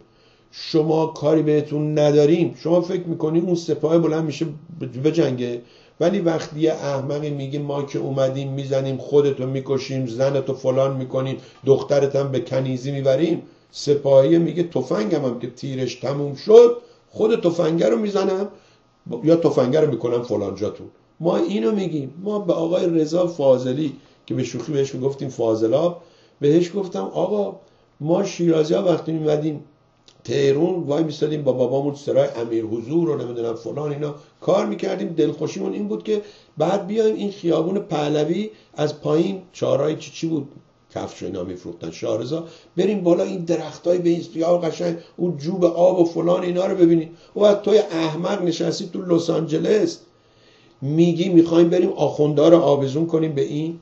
خب ملت میگن که بابا دوره آخوندا باز بهتر بود. پارک ساختن تونل ساختن چی ساختن؟ حماقت. اینا حماقت کورشون کرده. آقا هنوز به قدرت نرسیدن. سر قناعم دعواشونه. شما یکم وقت بذار آقای بختیاری. این فیلم های خودشون هم انقدر احمق خودشون فیلم می‌گیرن می‌ذارن. یعنی لازم نیست شما معمور بفرستی. لازم نیست خبرنگار بفرستی. خودشون. این از حماقت اون فیلم می‌گیره می‌ذاره. اون یکی دوربین گرفته از حماقت این. آقای نیک جعفرزاده رو دیدم اونجا. افراد دیگه ای دیدیم. یه مشتی لاتولود یه مشتی پولدار یه مشتی سوشال سکیوریتی بگیر. در هر صورت من نمی‌دونم. شاگردهای توسی هستن. بله. اون سعید توسی و ماجرای اینکه به پسرها به جایی که قرآن یاد بده چیزهای دیگه یاد می‌داده. اون هم ماجرای عجیبی است. و اما اجازه بدین چند تا از این خبرها رو براتون بگم. چون ساعت چهار بعد از ظهر چیز چهار بعد از ظهر برنامه آقای حسن ارشاد شماره 212 از ایران براتون پخش میشه. و همونجوری که گفتم این چیزی که نمی‌دونم بهش چی میگن ویدیو ریاض نمی‌دونم یادم رفت. با این پنج تا پین رو هر کسی خواست اگه تو آمریکا از 50 دلار بره ما 10 دلارش با بدیم پست براش میفرستم. اگر اروپا و این ور هستید 100 دلار یا اصلا حمایت کنید این چیزها رو هم نگیرید که ما هم لازم نباشه بریم پست خونه. ظریف گفت دو پرتاب ماهواره ایران احتمالا با خرابکاری آمریکا شکست خورده است. این از این از خودتون سوال کنید. آمریکا تا حالا چند بار گفته ما ماهواره میفرستیم هوا که ایران و آخوندان نتونن اینترنت مردم رو فیلتر کنن. خب چرا دروغ میگن؟ چرا به قولاشون عمل نمی‌کنن؟ بعد میشینیم میگیم آقا وقتی اینا به ملت خودشون دروغ میگن از اون جورج بوش پدر که من یادمه از اون ریگان که من یادمه تا این ترامپ نادان همهشون دروغ گفتن. مگه ترامپ نگو من دیوار می‌سازم پولشو مکزیک میده. الان مملکت اینجا رو داره فلج می‌کنه. سی و پنج روز یه بار بستش همین الان که من با شما صحبت می‌کنم هنوز نمی‌دونم خبر چیه. چون گفتن هم امضا می‌کنه هم میاد امرجنسی اعلام می‌کنه. و این خیلی مسخره است. درست مثل اینه که شما زنگ بزنی به آتش نشانی بگی من خونم آتیش گرفته. وقتی میگن آدرست کجا بفرستیم بگی حالا نفرست. یعنی دروغ میگه امرجنسی نیست و این دروغ میگه. ولی وای به حال دوستان ما که گول این دروغ ها رو خوردن. آقای بابک هروی باورتون میشه؟ آمد اینجا نمی‌دونم این شاه الله چیکار کردن. نمی‌خوام بگیم پولش دادن چون وضع پولش بد نیست احتیاج به پول نداره. ولی هم یه دفعه طرفدار رضا پهلوی شد هم یه دفعه طرفدار ترامپ شد. خب یه چیز دوایی تو چای ریختن آقا. نمی‌دونم. ظریف گفته دو تا ماهواره اینجوری. خب هی بیان اعلام کنید هی بیان شلوغ کنید هی بیان داد بزنید. مثل بچه آدم نرید یواشکی بفرستید. اعلام کنید اینا از قبل می‌زنن میندازنتون پایین. و اما جواد ظریف وارن ببینم این تاریخش کیه. فبروار 15 میگه که NBC هم هست. NBC می‌دونید که علامتش یک تاووس هست. هر که تاووس خواهد جور هندوس جور هندسون کشد ها این ماجرای تاووس هم کمرای دو من براتون روشن کنم. ببینیم آقای ظریف چی میگه. تو رو خدا تبلیغ به خوردمون نده creating the uh, it again. Uh, but I think uh, at the end of the day, some sense will prevail and people will find out that it's suicidal to engage in a war with Iran. Why would it be suicidal? Because میگه حمله به ایران خودکشی آمریکاست خبرنگاره از می‌پرسه چرا خودکشی آمریکا توضیح میده Iran is different from uh, other countries. Uh, you see, uh, the United States is used to dealing with countries that rely on outside بله میگه ایران متفاوته با کشورهایی که آمریکا تا کنون بهشون حمله کرده اون کشورها وابسته به خارج بودن ولی ما وابسته به خارج نیستیم. آقای ظریف. دماغت پینوکیا میشه ها؟ شما وابسته به خارج نیستی؟ آقا اگه وابسته به خارج نیستی چرا الان مثل گندم برشته توی مایتابه داری میپری بالا و پایین مثل پفک نمکی مثل چیه اون چی چوسفی نقل پیرزن پاپ کورن بله. خب ببینیم دیگه باید براتون چی بخونیم. نو دقیقه دیگه به اذان صبح باقی مونده و اما بحران ونزوئلا مادورو از مذاکرات مخفیانه با آمریکا پرده برداشت. پوتین در جریان مبارزه با قهرمان جدوی روسیه مجروح شد. ولادیمیر پوتین پس از این مبارزه به خبرنگاران گفت که ورزش به رغم مصدومیت به وی کمک می کند تا روحیه بهتری پیدا کند. همین دیروز نتیجه آزمایش ترامپ شارلاتان رو دادن که همهشون هم گفتن این دروغ میگه. اولا این قدش 6 فوت و 3 اینچز نیست. چون طرف میگه آقا من 6 تو هم وایسادم بغل دست من از این بلندترم بعد وزنش میگه 243 پوند. اگر پارسال دروغ گفتن 239 میگه از امسال تا پارسال 4 پوند رفته بالا که برای کسی که تو سن 72 سالگیه این علامت خیلی بدیه. خوراک خوردنش که افتضاح ورزش که اصلا نمی‌کنه. یک گلفی می‌رفت که اون گلف هم از بس بهش گفتن آقا تو به این اوباما گفتی انقدر نرو گلف و فلان اینا. 159 دفعه رفتی گلف توی این 600 روز و فلان اینا. اونم نمیره. و اما آقای مانی خورسندی میگه متاسفانه مردم ما از سیاست جهانی بی اطلاع هستند ترامپ هم به تنهایی هیچ کاره هست این خیلی نکته خوبیه. چه کسی وظیفه داره مردم را آگاه کنه؟ داداش شما که کمدینه. شما من نمی‌دونم شغلتون چیه. چه کسی مسئول هستن که مردم را آگاه کنن؟ دولت های خوب. تا حالا دولت خوبی ما داشتیم؟ نداشتیم. وقتی دولت خوب نداریم وظیفه هنرمندان وظیفه مجریان تلویزیون تهیه کنندگان برنامه اینه که مردم آگاه کنن. و مقاوم باشن. فوشش ندن. خود آقای خورسندی چقدر فوش می‌خوره؟ هم از این وریا هم از اون وریا. ما شدیم چوب دو سر طلا.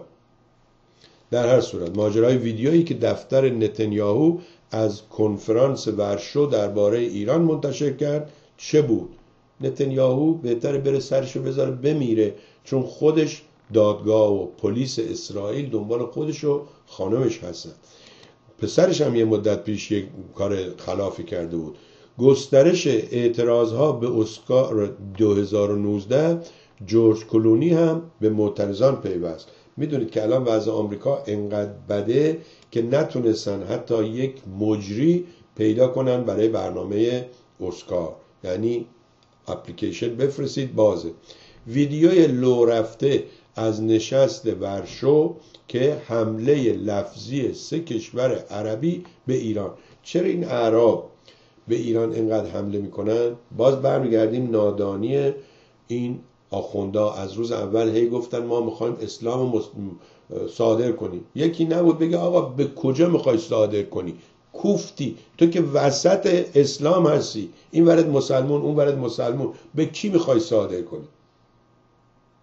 اون جوکه بود گفت که فلانی بچهش رفت آمریکا اونجا ازدواج کرد با خانم نمی‌دونم سوزان فلان و میخ اسلام را در نمی‌دونم مملکت کفار فرو برد.